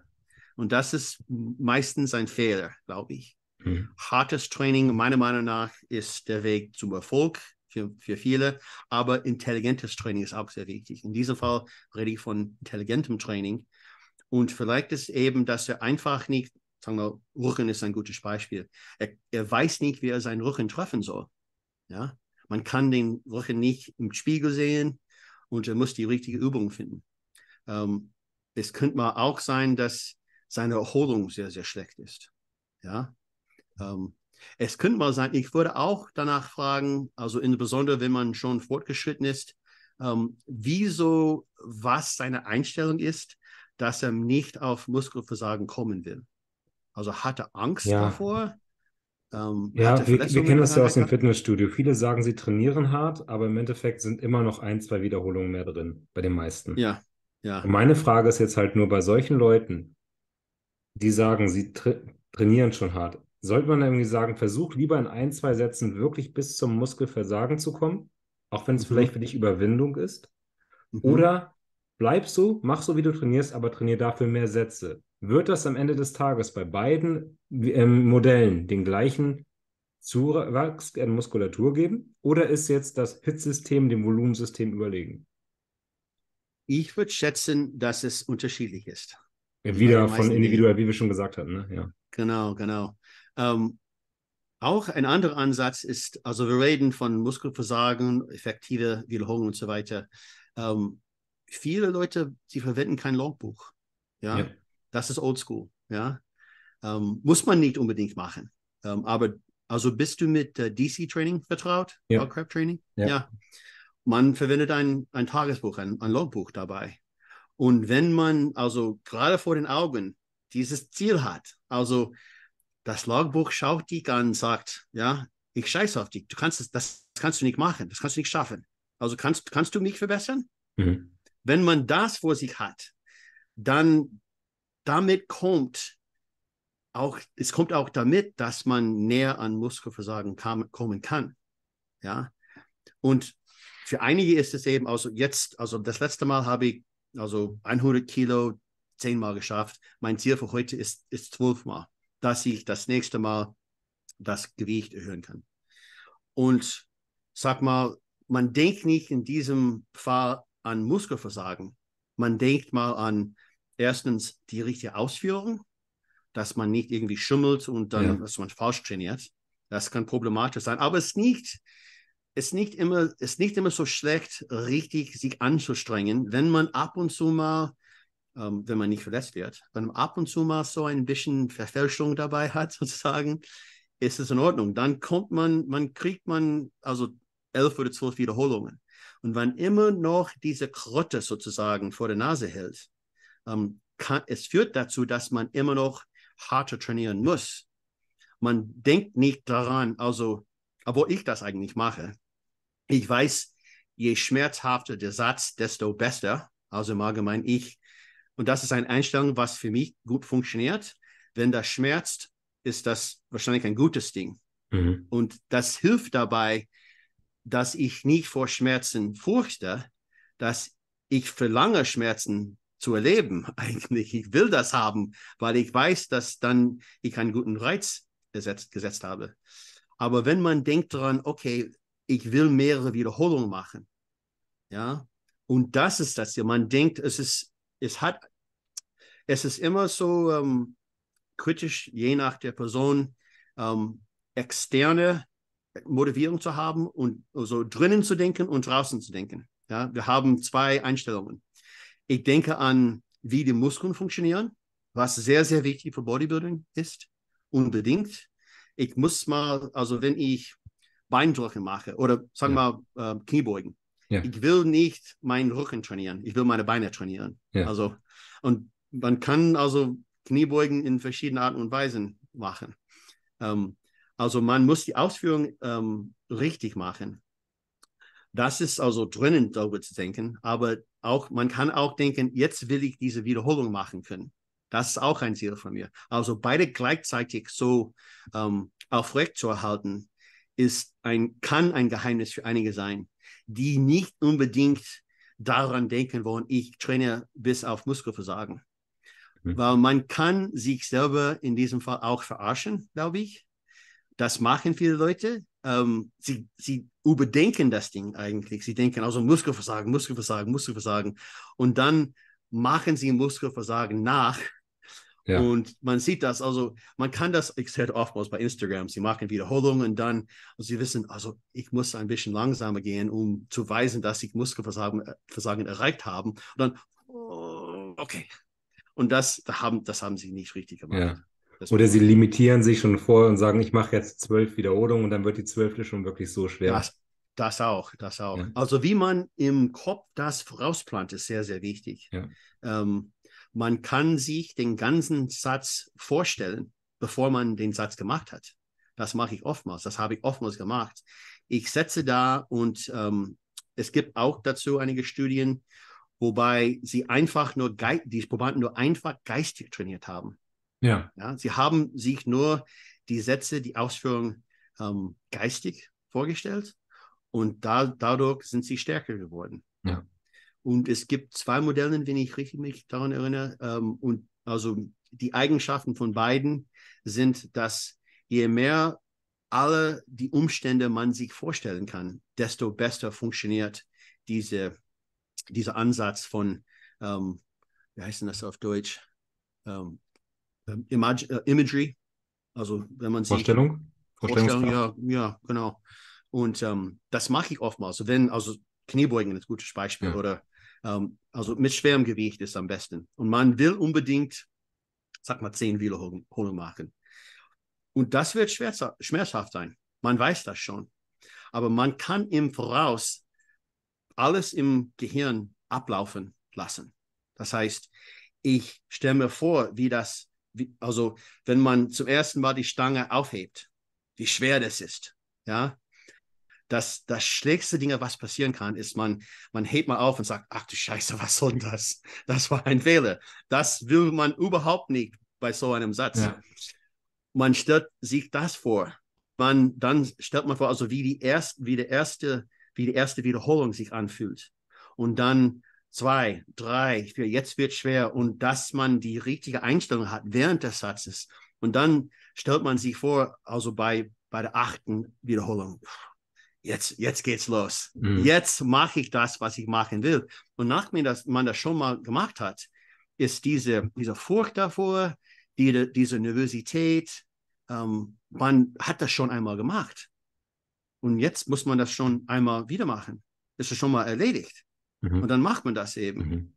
Man kann das also bei jedem Satz machen, aber nicht, wenn man, wenn man mit dem Handy rumspielt während des Trainings und zum Beispiel. Perfekt, das ist, glaube ich, eine richtig coole Message, die wir mal ein paar mitnehmen sollten. Ich auch persönlich. Ja. Ah, okay. sowas viel, viel mehr ja, vorbereiten kann auf so einen Satz und das, mhm. was man schon mal gemacht hat, macht dann keine Angst. Du hast recht. Ja, ja, ja. ja. Mhm. Ähm, ich will noch mal ganz kurz zurück zur Studie von Brad Schonefeld kommen, so als letzte Frage, bevor wir auf den Fortitude-Training zu sprechen kommen. Okay. Ähm, er hat ja gesagt, dass es eigentlich egal darum ist, äh, egal ist, ob man jetzt 20, 25 oder 10 Wiederholungen macht. Wichtig ist, dass man Muskelversagen erreicht. Jetzt mhm. ist beim einen logischerweise die mechanische Last viel höher. Also wenn ich mhm. 10 Wiederholungen mache, wird das Gewicht schwerer sein, als wenn ich 25 Wiederholungen mache. Ist es jetzt wirklich egal, ob ich bei 10 Wiederholungen ins Muskelversagen komme oder bei 25 Wiederholungen ins Versagen komme? Oder hat das eine halt dann doch durch die mechanische Last einen besseren Reiz und das andere durch den metabolischen Output einen höheren Reiz auf die Hypertrophie? Oder ist das wie immer sehr individuell? Also das Ergebnis dieser, dieser vorige, vorige ähm, erwähnte Studie, ja. wo die eine Gruppe, sie haben das also entweder mit schwerem Gewicht oder mit leichtem Gewicht trainiert. Ja. Einige war es besser, mit schwerem Gewicht zu trainieren. Für anderen war das okay. andere besser. Ähm, das ist das eben. Es gibt, oh, wie viel jetzt? Vier, sogar vielleicht fünf Studien, wo sie diesen Vergleich gemacht haben. Mhm. Also im Allgemeinen durchschnittlich sieht, sieht man keinen Unterschied. Es ist wahrscheinlich ein bisschen wichtiger, mit leichterem Gewicht bis auf Muskelversagen zu trainieren. Wichtiger? Ähm, nicht unbedingt, ja, vielleicht. Echt? Ich es hätte gedacht, dass das schwere Gewicht wichtiger ist. Ähm, die, die Studien sagen das nicht. Okay.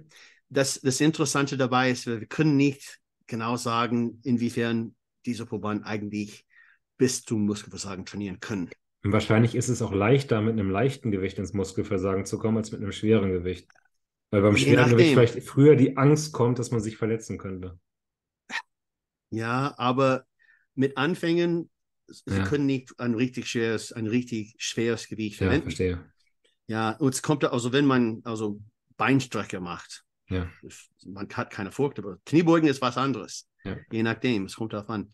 Ähm, ich würde mal sagen, dazu, also die Persönlichkeit des Menschen oder ähm, was man am liebsten hat, ist wahrscheinlich genauso wichtig wie jeder Ansatz. Und bei dieser Studie, ähm, wo, wobei einige am besten mit höherem Gewicht, andere mit leichtem Gewicht Erfolg gehabt haben, wir wissen nicht, warum das war. Es könnte mal sein, wie du schon gesagt hast, einige sagen, also das Schwergewicht, das, das habe ich nicht gern. Und die anderen sagen, also, das ist kein Problem, ich gehe mit bis Muskelversagen. Einige Leute, sie können, sie können, sie machen Beinstrecke und sie merken, sie wissen nicht, welcher Muskel damit, ähm, welcher Muskel, sie können das nicht merken. Sie haben mhm. so, ähm, sie haben nicht das Körperbewusstsein, ja. um das zu merken. Deswegen ist es wahrscheinlich wichtiger, den Ansatz zu finden, ähm, was man am liebsten hat und wobei man vorwärts kommen kann. Ich würde mal sagen, das passiert in allen Studien praktisch. Sie sorgen dafür, dass Progressive Overload benutzt wird. Das sehen wir oft. Das sehen wir immer, meine ich. Ähm, und das ist ein Ding, was viele Leute nicht machen. Also nicht akribisch zumindest. sie gehen mal rein, also sie machen, ähm, sie zählen vielleicht also effektive Wiederholungen und so weiter und sie merken nicht, welches Gewicht sie, sie verwenden. Und das machen sie in den Studien. Interessanterweise, es gibt einige Studien, wo sie effektive Wiederholungen gemacht haben. Sie haben Absicht, mit Absicht gesagt, also bis zwei oder drei Wiederholungen kurz vor Muskelversagen aufhören. Aber bei den meisten gehen sie mis zu Muskelversagen. Und ich mhm. würde sagen, und ich, ich stimme zu mit Brad, dass Muskelversagen also wichtig ist. Ähm, und wir haben also eigentlich mit fortgeschrittenen Athleten, ihr redet wahrscheinlich von, ähm, von dieser Meta-Analyse, dass fortgeschrittene Athleten am besten mit Muskelversagen vorwärts kommen können. Okay. Das ist das Wichtigste. Aber ob es leichtes Gewicht oder schweres Gewicht ist, das ist unterschiedlich. Ja. Um sicher zu gehen, könnte man ja jetzt beide Wiederholungsbereiche sozusagen kombinieren. Wie zum ja. Beispiel, dass der äh, Neil Hill gemacht hat mit seinem Y3T. Mal eine mhm. Woche schwer, eine Woche leichter, eine Woche mit Intensitätstechniken. Mhm. Ähm, wie hast denn du dein Fortitude-Training aufgebaut für bestmöglichen Muskelwachstum und wie kamst du darauf? Genau mit diesem Ansatz eigentlich. Also mhm. ich habe drei Wiederholungsbereiche eigentlich da drin. Ähm, Vielleicht magst du mal ganz kurz für die, die Fortitude nicht kennen, einmal kurz erklären, wie ist Fortitude aufgebaut? Fortitude Training ist, ist quasi ein Rezept, ähm, was ich mit verschiedenen Zutaten, mit verschiedenen Prinzipien aufgebaut habe, sozusagen. Ähm, die sind Dinge, die ich äh, erfahrungsmäßig zusammengebracht habe und auch durch die Wissenschaft zusammengebracht habe. Um, Progressive Overload ist ganz wichtig. Um, zu der Zeit, als ich Fortitude Training, als ich, als ich das Buch geschrieben hatte, gab es diese Studien, die ich erwähnt habe, noch nicht. Aber mhm. ich wusste schon, dass bei verschiedenen Muskeln ist es besser, mit leichterem Gewicht zu trainieren und, und umgekehrt. Deswegen habe ich da drin, ich nenne die Sets, Set Types, Setztypen, um, Loading Sets, Ladungssätze, um, Cluster Sets, Muscle Rounds, Muskelrunde und dann Pumpsätze. Also die sind so ungefähr zwischen sechs und zwölf Wiederholungen. Ähm, ungefähr 15, also mit einem Gewicht, was man 15 Wiederholungen machen könnte, aber das ist ein Cluster-Set, also ein, ein unterbrochenes, unterbrochener Satz. Und dann Pumpsätze sind mit höheren Wiederholungen. Aber da drin gibt es ähm, die Möglichkeit, den Satz ähm, auf verschiedene Arten und Weise ähm, auszuführen. Mhm. Äh, ganz kurz, deine Loading-Sätze sind in welchem Wiederholungsbereich? sechs bis zwölf so ungefähr. Deine mhm. Muscle Rounds sind Gewicht ähm, für 10 und dann man, äh, Form man, man fängt mit einem Gewicht, was man ungefähr 15 Wiederholungen machen könnte. Ja. Und wie viele Wiederholungen macht man? Zwischen 20 und 24. Also ist es ein Cluster-Set. Ja. So wie ein Rest-Pause-Set. Ja. Und man, also zum ersten Mal wählt man ein Gewicht und dann macht man vier Wiederholungen und das dauert ungefähr 10 Sekunden und dann pausiert man entweder für 10 Sekunden mit der Uhr oder man atmet, man atmet fünfmal. Mhm. Je nachdem, was, was am leicht, was, um, was am, am vernünftigsten wäre. Ja. Dann nochmal vier Wiederholungen, vier Wiederholungen. Das Gewicht so gewählt sein, dass man in, der, in dem vierten Satz oder fünften oder sechsten Satz auf Muskelversagen kommt. Ja. kommt.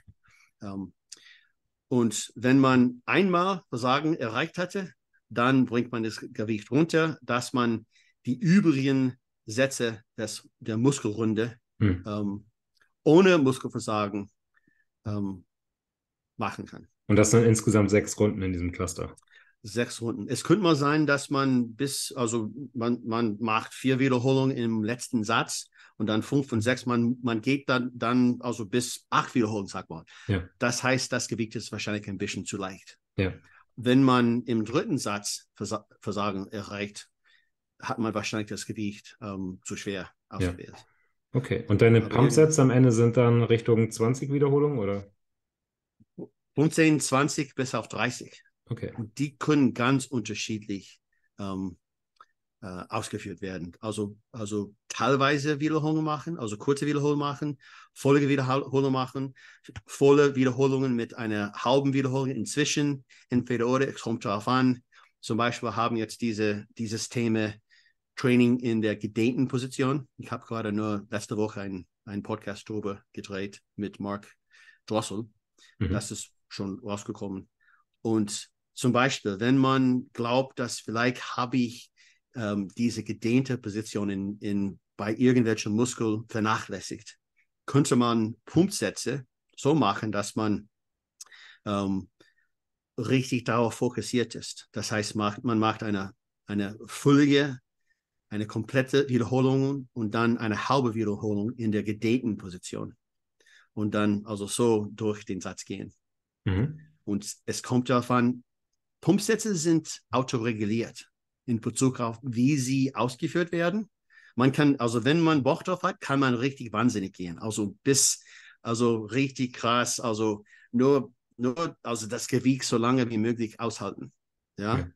Oder ähm, einfach also eine, eine, einen Satz mit 20 Wiederholungen machen, wenn man an diesem Tag vielleicht ein bisschen müde ist. Je nachdem, man kann also besondere Übungen auswählen, die ein bisschen komisch sind, vielleicht also die man selbst erfunden hat, aber die sehr gut den Muskel treffen kann, je nach der Mechanik der Person. Und die sind, also sie erlauben dass man richtig das Programm für sich selbst ähm, einrichten kann und direkt auf ähm, für die Besonderheiten der Person das Programm, ähm, die Eigenschaften des Programms ein, einrichten kann. Ähm, es, ist, äh, es erlaubt das, was man in den meisten Programmen nicht sieht. Also oftmals ist die Leute, die Leute, sie wollen das, also einfach sagen wir, was sie machen sollen. Und ich glaube, das ist sehr wichtig. Also Bodybuilder sind nicht dumm, also einige schon, einige nicht. Aber wir haben auch diese Weisheit sozusagen, dass wir wissen, also diese Übung bringt mir nichts. Das, ja. funktioniert nicht. Aber wenn ich das, diese Übung mache oder ich das mache, das ist besser für mich. Und wenn ich, wenn ich zum Beispiel, es gibt ähm, ein Gerät in meinem Fitnessstudio, was ich richtig, was sehr krass meinen Rücken trifft. Ja, insbesondere wenn ich tief drin in der Wiederholung bin. Und das ist ein wunderschönes Gefühl. Ich will dabei bleiben. Und man kann, man könnte einen ganzen Satz nur mit halben Wiederholungen ausführen. Das wäre völlig in Ordnung, wenn das dir was bringt. Deswegen habe ich das ähm, absichtlich ins Programm eingebaut. Einige Leute, sie wollen, also das ist so viel, ich will nicht so viel denken. Also zumindest bei diesen Pumpsätzen haben sie dann die Möglichkeit, mit höheren Wiederholungen Sätze zu machen, was vielleicht für sie sehr erfolgreich sein könnten. Es ja. könnte mal sein, dass jemand sagt, okay, ähm, schweres Gewicht funktioniert nicht bei mir. Aber ich habe immer noch diese Loading-Sets da drin, die normalerweise mit schwerem Gewicht ausgeführt so, sein sollten. Kein Problem. Dann kann man die Sätze mit 10, 11, 12 Wiederholungen ausführen. Das ist nicht außerordentlich. Also oder nur bei, bei 12 bleiben, so ungefähr. Das ist immer ein bisschen schwerer. Ich würde was sagen, dass das für die Mehrheit der Menschen was bringen wird. Mhm. Ähm, aber man könnte alle von den Sätzen so ähm, einstellen, dass man mit leichtem Gewicht trainiert. Mhm. Zum Beispiel mit diesen ähm, Muscle Rounds. Man könnte ein Gewicht wählen, wobei, wobei man immer im sechsten Satz Muskelversagen reicht. Stimmt. So, so könnte man das also beim ganzen Programm machen. Oder man könnte zum Beispiel für eine Periode schwer trainieren, also für sechs Wochen schwer trainieren und das, also die nächste Runde für die nächsten zwei Monate leicht trainieren, sozusagen, aber immer noch gleich. Und dann vielleicht das nächste Mal bei den Loading Sets sehr schwer trainieren, also sechs Wiederholungen. Und dann bei den, bei den Pumpsätze anders trainieren, mit, mit mhm. leichtem Gewicht und sehr, also außerordentliche Dinge machen. Mhm. Ja. Also besteht bei dir dann in einem Fortitude Trading jedes Training aus Loading Sets, Muscle Rounds und Pump Sets? Nein, nein. Eigentlich, nee. Ich, es ist, ist nicht so kompliziert eingeleuchtet. Also, was, wie soll ich das tun? Ja. Ähm, man trainiert, also es gibt verschiedene Programme eigentlich. Man trainiert also durchschnittlich drei oder viermal in der Woche, mhm. jeden Mus jede Muskelgruppe. Ähm, man trainiert entweder Loading Sets, Muscle Rounds oder Pump Sets ähm, einmal in einer Training. Also man verwendet einen Setztyp in einer Trainingseinheit. Also aber nicht alle. Ah, okay. Ja. Das heißt, ähm, du hast jetzt meinetwegen einen Vierer-Split mit äh, Beine, Brust, Schulter und Rücken, Arme, nur als Beispiel. Und nee. Äh, Nein, okay, erzähl, erzähl du. Nee, nee, genau. Also zum Beispiel Montag würde man Loading-Sets für, für Beine machen Ja. und dann ähm, Pump-Sets für den Oberkörper machen. Ja. Ah, Und dann kommt man zurück Mittwoch, also Tag zwei sozusagen, ja. und man macht das, ähm, das umgekehrt. Also Loading-Sets für den Oberkörper und dann Beine Pumpsätze. Okay. Und dann Freitag und Samstag würde man den ganzen Tag, also Unterkörper und dann Oberkörper, Sam Freitag und Samstag trainieren mit den Muskelgruppen. Dadurch. Das heißt, man trainiert den ganzen Körper dreimal die Woche. Alles klar. Das ist, ja, es ist. Und man Nee, denkt, also, interessant. Beine dreimal die Woche?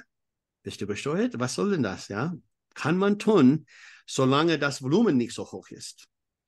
Deswegen habe ich bei Fortitude Training drei äh, Niveaus, drei Volumenebenen gehabt.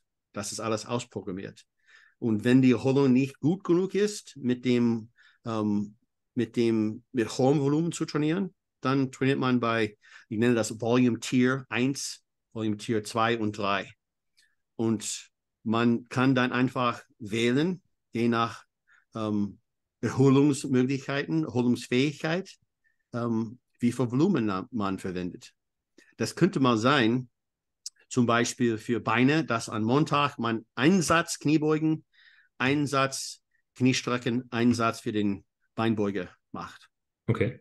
Schluss, das wäre es, nur für Montag.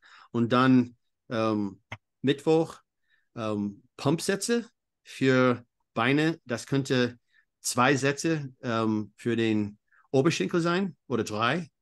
Schluss, das ist es. Und dann ähm, Freitag, dann drei Muskelrunden insgesamt. Okay, das wäre dann Volume Tier 1.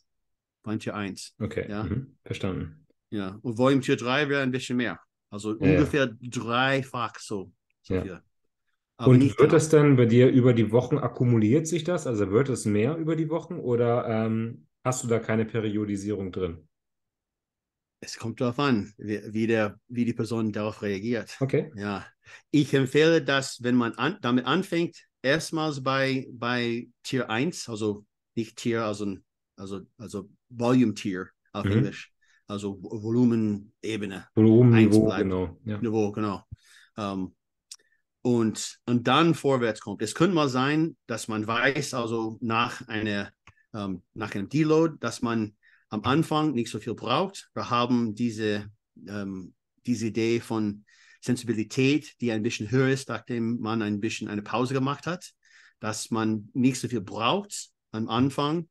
Ähm, das, dabei könnte man beim, beim Niveau 1 anfangen und dann in der nächsten Woche 2 verwenden. Und wenn das zu viel, genug ist, dann einfach bei 2 bleiben. Ähm, oder noch höher gehen. Einige Leute haben mal gesehen, dass sie können von 1 bis 2 bis 3 ähm, gehen und dann müssen sie rückwärts gehen. Also müssen sie das Volumen runterbringen, was völlig in Ordnung ist, und dann bei, bei 1 bleiben. Oder vielleicht können Sie nur drei Wochen in einer Reihe trainieren und dann müssen Sie ein Deload machen. So ein Intensive Cruise, wie ich das genannt habe. Ja. Jetzt Ja. kommen wir auch tatsächlich zum Deload dann. Und zwar hattest du mir Ja. dann ja auf die Story geantwortet und hast mir deine ähm, Idee von einem Deload erklärt. Magst du das Ja. nochmal, weil hab ich, da habe ich nämlich gesagt, Scott, das müssen wir eigentlich im Podcast besprechen, weil das müssen Okay. wir hören. Ja. Wann macht für dich ein Deload Sinn und wie gestaltest du ihn? Okay, das, das ist eine Sache der Autoregulierung. Mhm. Ähm, also Coaches, die sich die Athleten eine lange Zeit vertraut haben, sie können eigentlich merken, es gibt, man kann ähm, verschiedene physiologische Merkmale erkennen, die sagen, also jetzt brauchst du einen Deload. Ähm, bei Bodybuilder verwenden wir das nicht immer, also ähm, Herzschlagfrequenz und so weiter kann man messen, ähm, Variabilität des Herzschlags und so weiter. Aber es ist eine Geschicklichkeit, sich autoregulieren zu können, Ja. was man im Laufe der Zeit entwickeln kann. Und ähm, man kann das merken von dem Gewicht, also wie, wie fühlt das Gewicht an? Ähm, wie viel Bock habe ich auf Training? Komme ich immer noch vorwärts bei dem Training mit zum Beispiel den Loading-Sätze? Ist es eben, man hat das Ziel, bei jedem Training vorwärts zu kommen, entweder mit Wiederholungen oder mit Gewicht. Bei Pumpsätze ist es quasi egal. Also man, man kann das hinschreiben und einfach zu notieren, was man in der Vergangenheit gemacht hat. Vielleicht, wenn einige Leute, sie wollen, sie haben, sie sind sehr zielorientiert und sie wollen immer, immer noch jeden Tag den, das Logbuch ähm, verbessern, aber das muss man nicht unbedingt. Aber wenn man merkt, dass man nicht vorwärts kommt im Logbuch oder mit dem Gewicht oder Wiederholungen, das könnte mal sein, dass es eine, eine Zeit für die Zeit ist, ähm, ein Deload zu machen. Das heißt, man kann, also insbesondere am Anfang kann man, man kann nicht genau wissen, wann die richtige Zeit ist. Also der Zeitpunkt könnte ganz unterschiedlich sein. Einige können sechs Wochen ähm, trainieren, bevor sie einen Deload brauchen, andere drei Wochen. Okay. Aber ich habe das so gestaltet, so wie ein Taper, also wie was Athleten in der Leichtathletik zum Beispiel machen. Ähm, ich habe bei DC Training, ich war ähm, für einige Jahre eigentlich der offizielle DC Trainer sozusagen für Dante Trudell. Mhm. Und der hat das so ähm, ausgeplant oder nicht ausgeplant. Er sagt also, der Athlet, der Bodybuilder kann machen, was er will. Also einige wollten mal immer noch trainieren. Einige hatten überhaupt keinen Bock auf Trainieren. Also für zwei Wochen haben sie überhaupt nicht trainiert. Und wenn die Athleten einfach machen könnten, was sie wollten, sie hatten also nichts Bestimmtes, was in einem Deload passieren, passieren würde, haben einige davon die Neigung gehabt, sie haben zu viel gemacht mhm. Und dann haben sie sich nicht richtig erholt und dann andere haben, also sie haben Urlaub gemacht und dann sind sie zurückgekommen und sie haben also Kraft verloren und sie haben dann sechs Wochen ähm, gebraucht, um wieder mal an der gleichen Stelle zu kommen, ähm, wie sie vorher waren. Ja. Und ich wollte dieses Problem irgendwie lösen. Und ja. das habe ich, glaube ich, mit Fortitude Training indem ich habe ich hab gemacht, dass die, ich habe das so ähm, eingerichtet, dass Frequenz ein bisschen weniger wird. Stattdessen viermal die Woche zu trainieren, trainieren sie dreimal die Woche oder vielleicht zwei, je nachdem. Und Volumen soll auch runterkommen. Aber sie machen nur diese Muskelrunde und die bedingen, dass man immer noch hart trainieren muss. Aber man, man kümmert sich nicht darum, also welches Gewicht man benutzt in diesem Fall. Es könnte mal sein, auch die Muskelrunde, man, könnt, man kann die Übung dafür also ähm, gefälligst aussuchen. Man macht, was man glaubt, am besten an diesem Tag sich anfühlen wird. Das heißt, die Übungen könnten also regelmäßig ausgeführt werden, indem man so versucht, ähm, das Gewicht zu erhöhen. Also, aber es könnte, aber es könnte mal sein, dass sie einfach, ähm, also jede Trainingseinheit eine neue Übung auswählen. Mhm. Und deswegen während dieser Pause verbringen sie ungefähr ähm, zwei Drittel davon mit Volumen weniger, aber die Qualität des Trainings ist immer noch hoch, indem sie hart trainieren. Sie machen nur die Muskelrunde. Also eigentlich wäre es wahrscheinlich besser für die meisten, dass sie neue Übungen ausprobieren. Dann haben sie Bock drauf und sie müssen nicht unbedingt viel trainieren, also weil Volumen weniger ist. Und dann fürs letzte Drittel des Deloads, dann machen sie nichts, also kein Training. Also sie machen eine kurze Reise mit der Familie, einen kurzen Urlaub. Und wenn das richtig funktioniert hat, dann haben sie richtig saugut Bock drauf, wieder mit dem Training anzufangen. Sie, sie wollen richtig losgehen. Und also in den meisten Fällen, wenn die das richtig gemacht hatten, es ist so, äh, es ist eine Kunst, ähm, quasi zu wissen, wann man den Deload machen soll, also den Intensive Cruise, wie ich das genannt habe.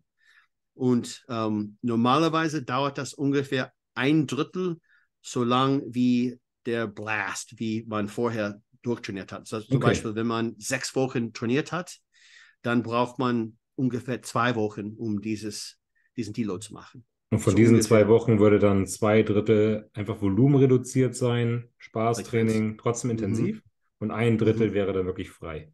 Ja, genau, genau. das erlaubt auch, ähm, wir als Bodybuilder haben die Neigung dazu, dass wir, also das Training ist das ganze Leben ja. und das kann zu viel sein und dann, dann muss man, es ist da in, man, man ist, man folgt dem Programm, in dem man nichts macht. Man muss das tun. Und die meisten Athleten, sie haben, das habe ich durch, ähm, durch mein ähm, meine Erfahrung als Coach gesehen, dass die meisten Athleten, sie wollen irgendwas finden, um abzulenken. Ja. ja. Und das ist ein gutes Ding. Dann haben sie irgendwas, sie, sie bleiben immer noch in, im Kontakt mit, mit dem Rest des Lebens dadurch. Ja, aber sie haben dadurch Bock, wieder mal mit dem Training anzufangen. Das funktioniert ganz. Und das, Athleten machen das beim Schwimmen, beim Schwimmen zum Beispiel, bei Leichtathletik, ähm, bei vielen Sporten eigentlich. Und sie haben ein paar Tage vor dem Wettkampf, wo sie nichts machen. Also sie versuchen vielleicht, vielleicht mal Geschicklichkeiten zu üben, aber sie, sie, sie wissen, dass eine kurze Zeit zumindest sich auszuruhen und auch ähm, wir haben, es ist ein ganz interessantes Ding, wir haben einige Studien, also insbesondere eine Studie, die ähm, äh, gezeigt hatte, die diese, ähm, dieses Phänomen untermauert hatte, dass im Laufe des Trainings ähm, baut man sozusagen ähm, den Reiz auf und man muss dann weg von Training kommen, um den Reiz zu erleben, um den, den Reiz ähm, zu Die erlauben. Super Kompensation, ne? Kompensation, genau, ja. genau. Und das passiert, glaube ich. Ich, ich habe eine, eine Lieblingsgeschichte von mir, ist, ähm, ist von einem Kunden, der war ähm, gerade am Anfang, als ich mit Fortitude Training gemacht habe, der war Ma Mathematiker. Mhm. Ich kenne sehr, sehr gerne, ja. Ja, der sehr kluger Mensch. Sehr, er liebte das, das harte Training auch aber hat nie vorher ein richtiges Deload gemacht. Also überhaupt nicht. Aber er sehr, war sehr akribisch, hat genau gemacht, was ich ihm erzählt habe. Und nach seinem ersten Deload ist er zurückgekommen zum Training und er hat natürlicherweise sein Logbuch dabei. Und ich weiß nicht, welche Übung er am Anfang gemacht hat. Sag mal, schräg Bankdrücken. Mhm. Und er dachte, okay, ich habe 100 Kilo vorher verwendet, ich habe elf Wiederholungen gemacht. Ich, ich gehe mal mit 110 oder 105, ich fühle mich sehr gut heute an. Ja, und er hat stattdessen 12 oder 13 Wiederholungen gemacht, 23 gemacht. Er sagt, okay, das war gut. Und dann ist das Gleiche bei der nächsten Übung passiert und bei der gleichen, bei der, bei der gesamten Einheit passiert und dann auch am nächsten Tag. Er konnte das nicht glauben. Er hat gedacht, was, bin ich besteuert? Was ist denn mit mir los? Ich bin Mathematiker. Habe ich irgendwie die falschen Gewichten dahin geschrieben im Logbuch? Aber habe ich mich geirrt oder was? Aber überhaupt nicht. Er ist einfach zum ersten Mal einen richtigen Deload gemacht und dann ist so stark zurückgekommen, dass er praktisch bei jeder Übung seine Wiederholungen verdoppelt hatte. Ähm, weil er das nicht, ja, und, und wenn er daran gedacht hat, also er hat so viele ähm, so viel Erfolg, so viele Fortschritte zurückgelassen, indem er zu viel trainiert hat. Und das ist das Interessante ähm, bei diesem Thema. Also man weiß, wenn man übertrainiert ist, weil Leistung runtergeht. Ja, aber wir haben auch diese eine äh, so quasi eine Glockenkurve, haben diese Dosis-Wirkungskurve bei Training. Also drei Sätze sind besser als ein Satz, fünf Sätze ist besser. Und dann vielleicht haben wir ein optimiertes Volumen. Und dann, wenn man zu viel macht und mehr macht, kann man immer noch vorwärts kommen, aber das ist überhaupt nicht optimal. Ja. Und also ich habe das jahrelang gemacht. Die meisten Bodybuilder machen das auch. Sie versuchen zu viel zu machen. Sie kommen immer noch vorwärts, aber das ist überhaupt nicht optimal.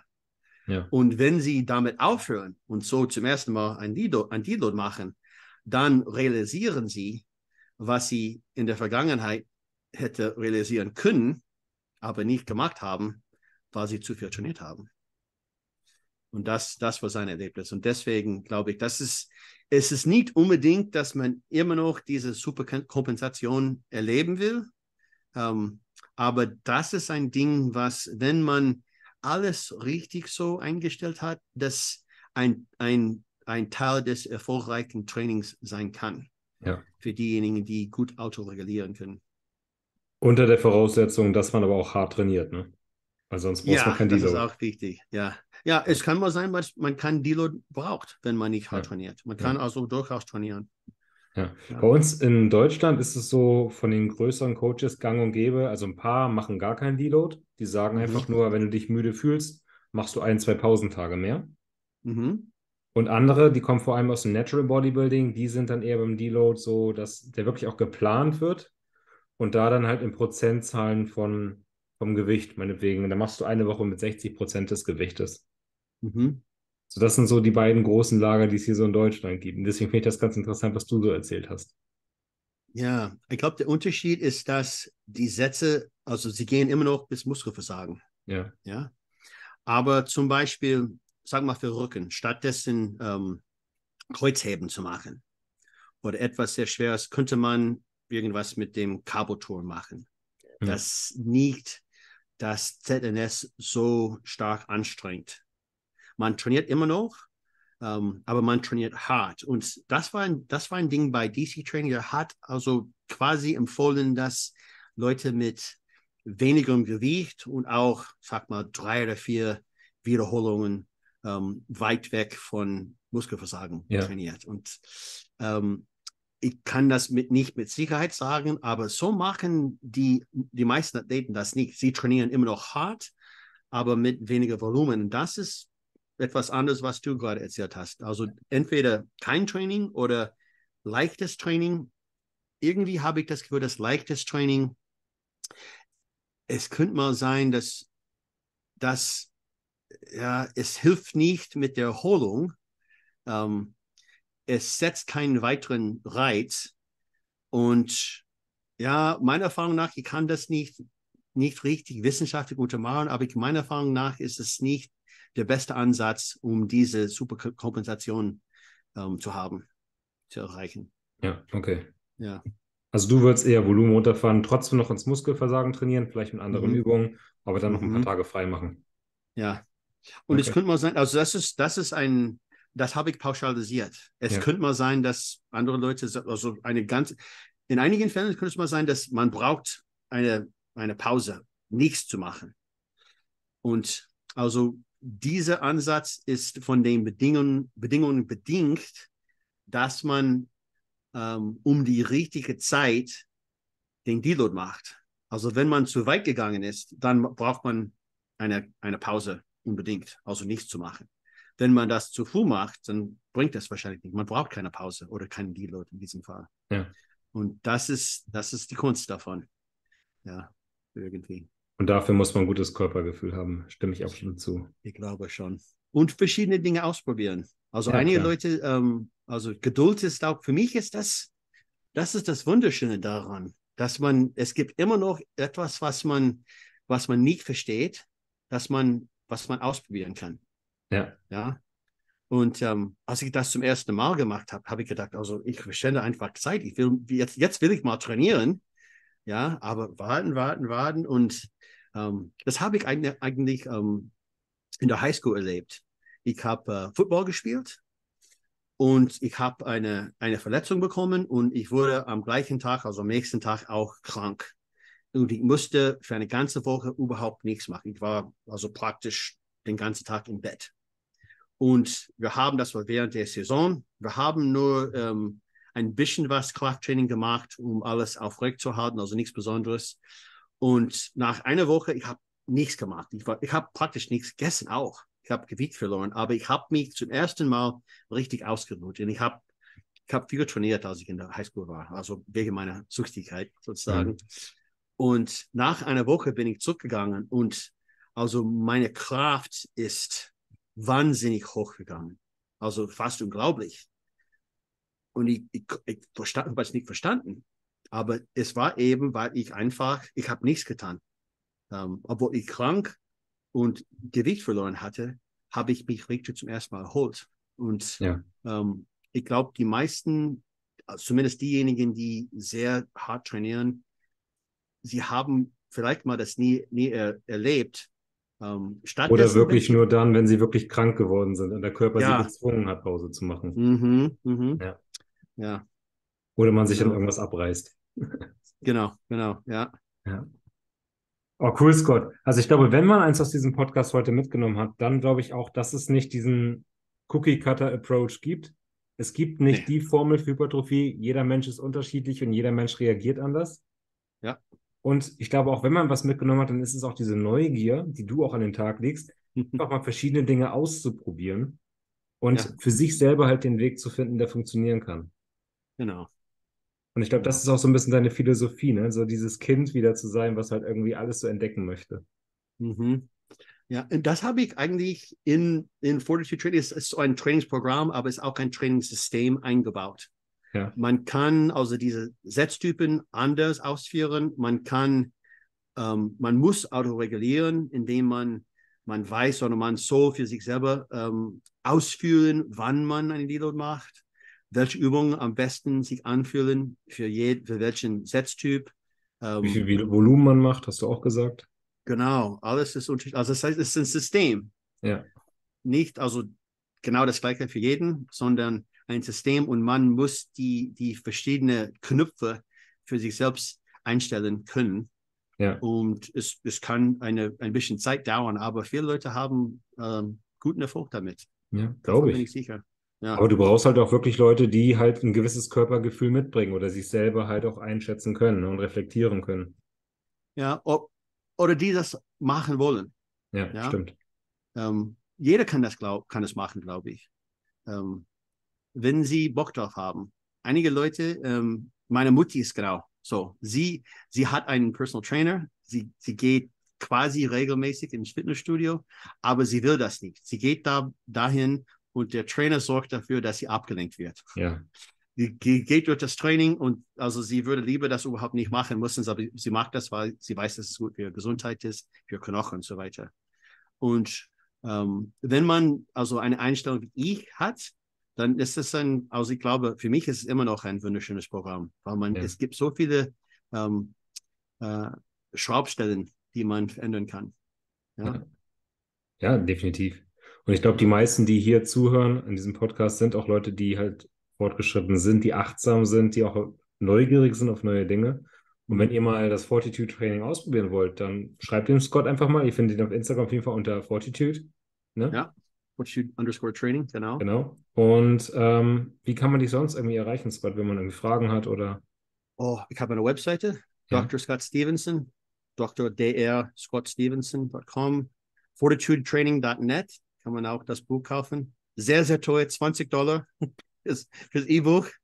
Ähm, übrigens, ich, ich versuche, ich will jeder, der das Buch kauft, dass er unbedingt weiß, wie man das Programm einstellt, wie man das Programm ähm, macht. Deswegen habe ich eine, ein Forum, völlig umsonst für diejenigen, die das Buch gekauft haben. Wenn man ähm, das E-Mail kriegt, nachdem man das Buch gekauft hat, dann es gibt Einleitungen da, dazu, wie man ans Forum ankommen kann. Und ähm, Cool. Ich bin acht Jahre dabei. Ich habe praktisch quasi jede Frage beantwortet, die über das Programm geben könnte. Und ähm, die Antworten sind sehr sind da. Und wenn jemand ein, ein, äh, eine Frage dazu hat, werde ich unbedingt ähm, die Frage beantworten.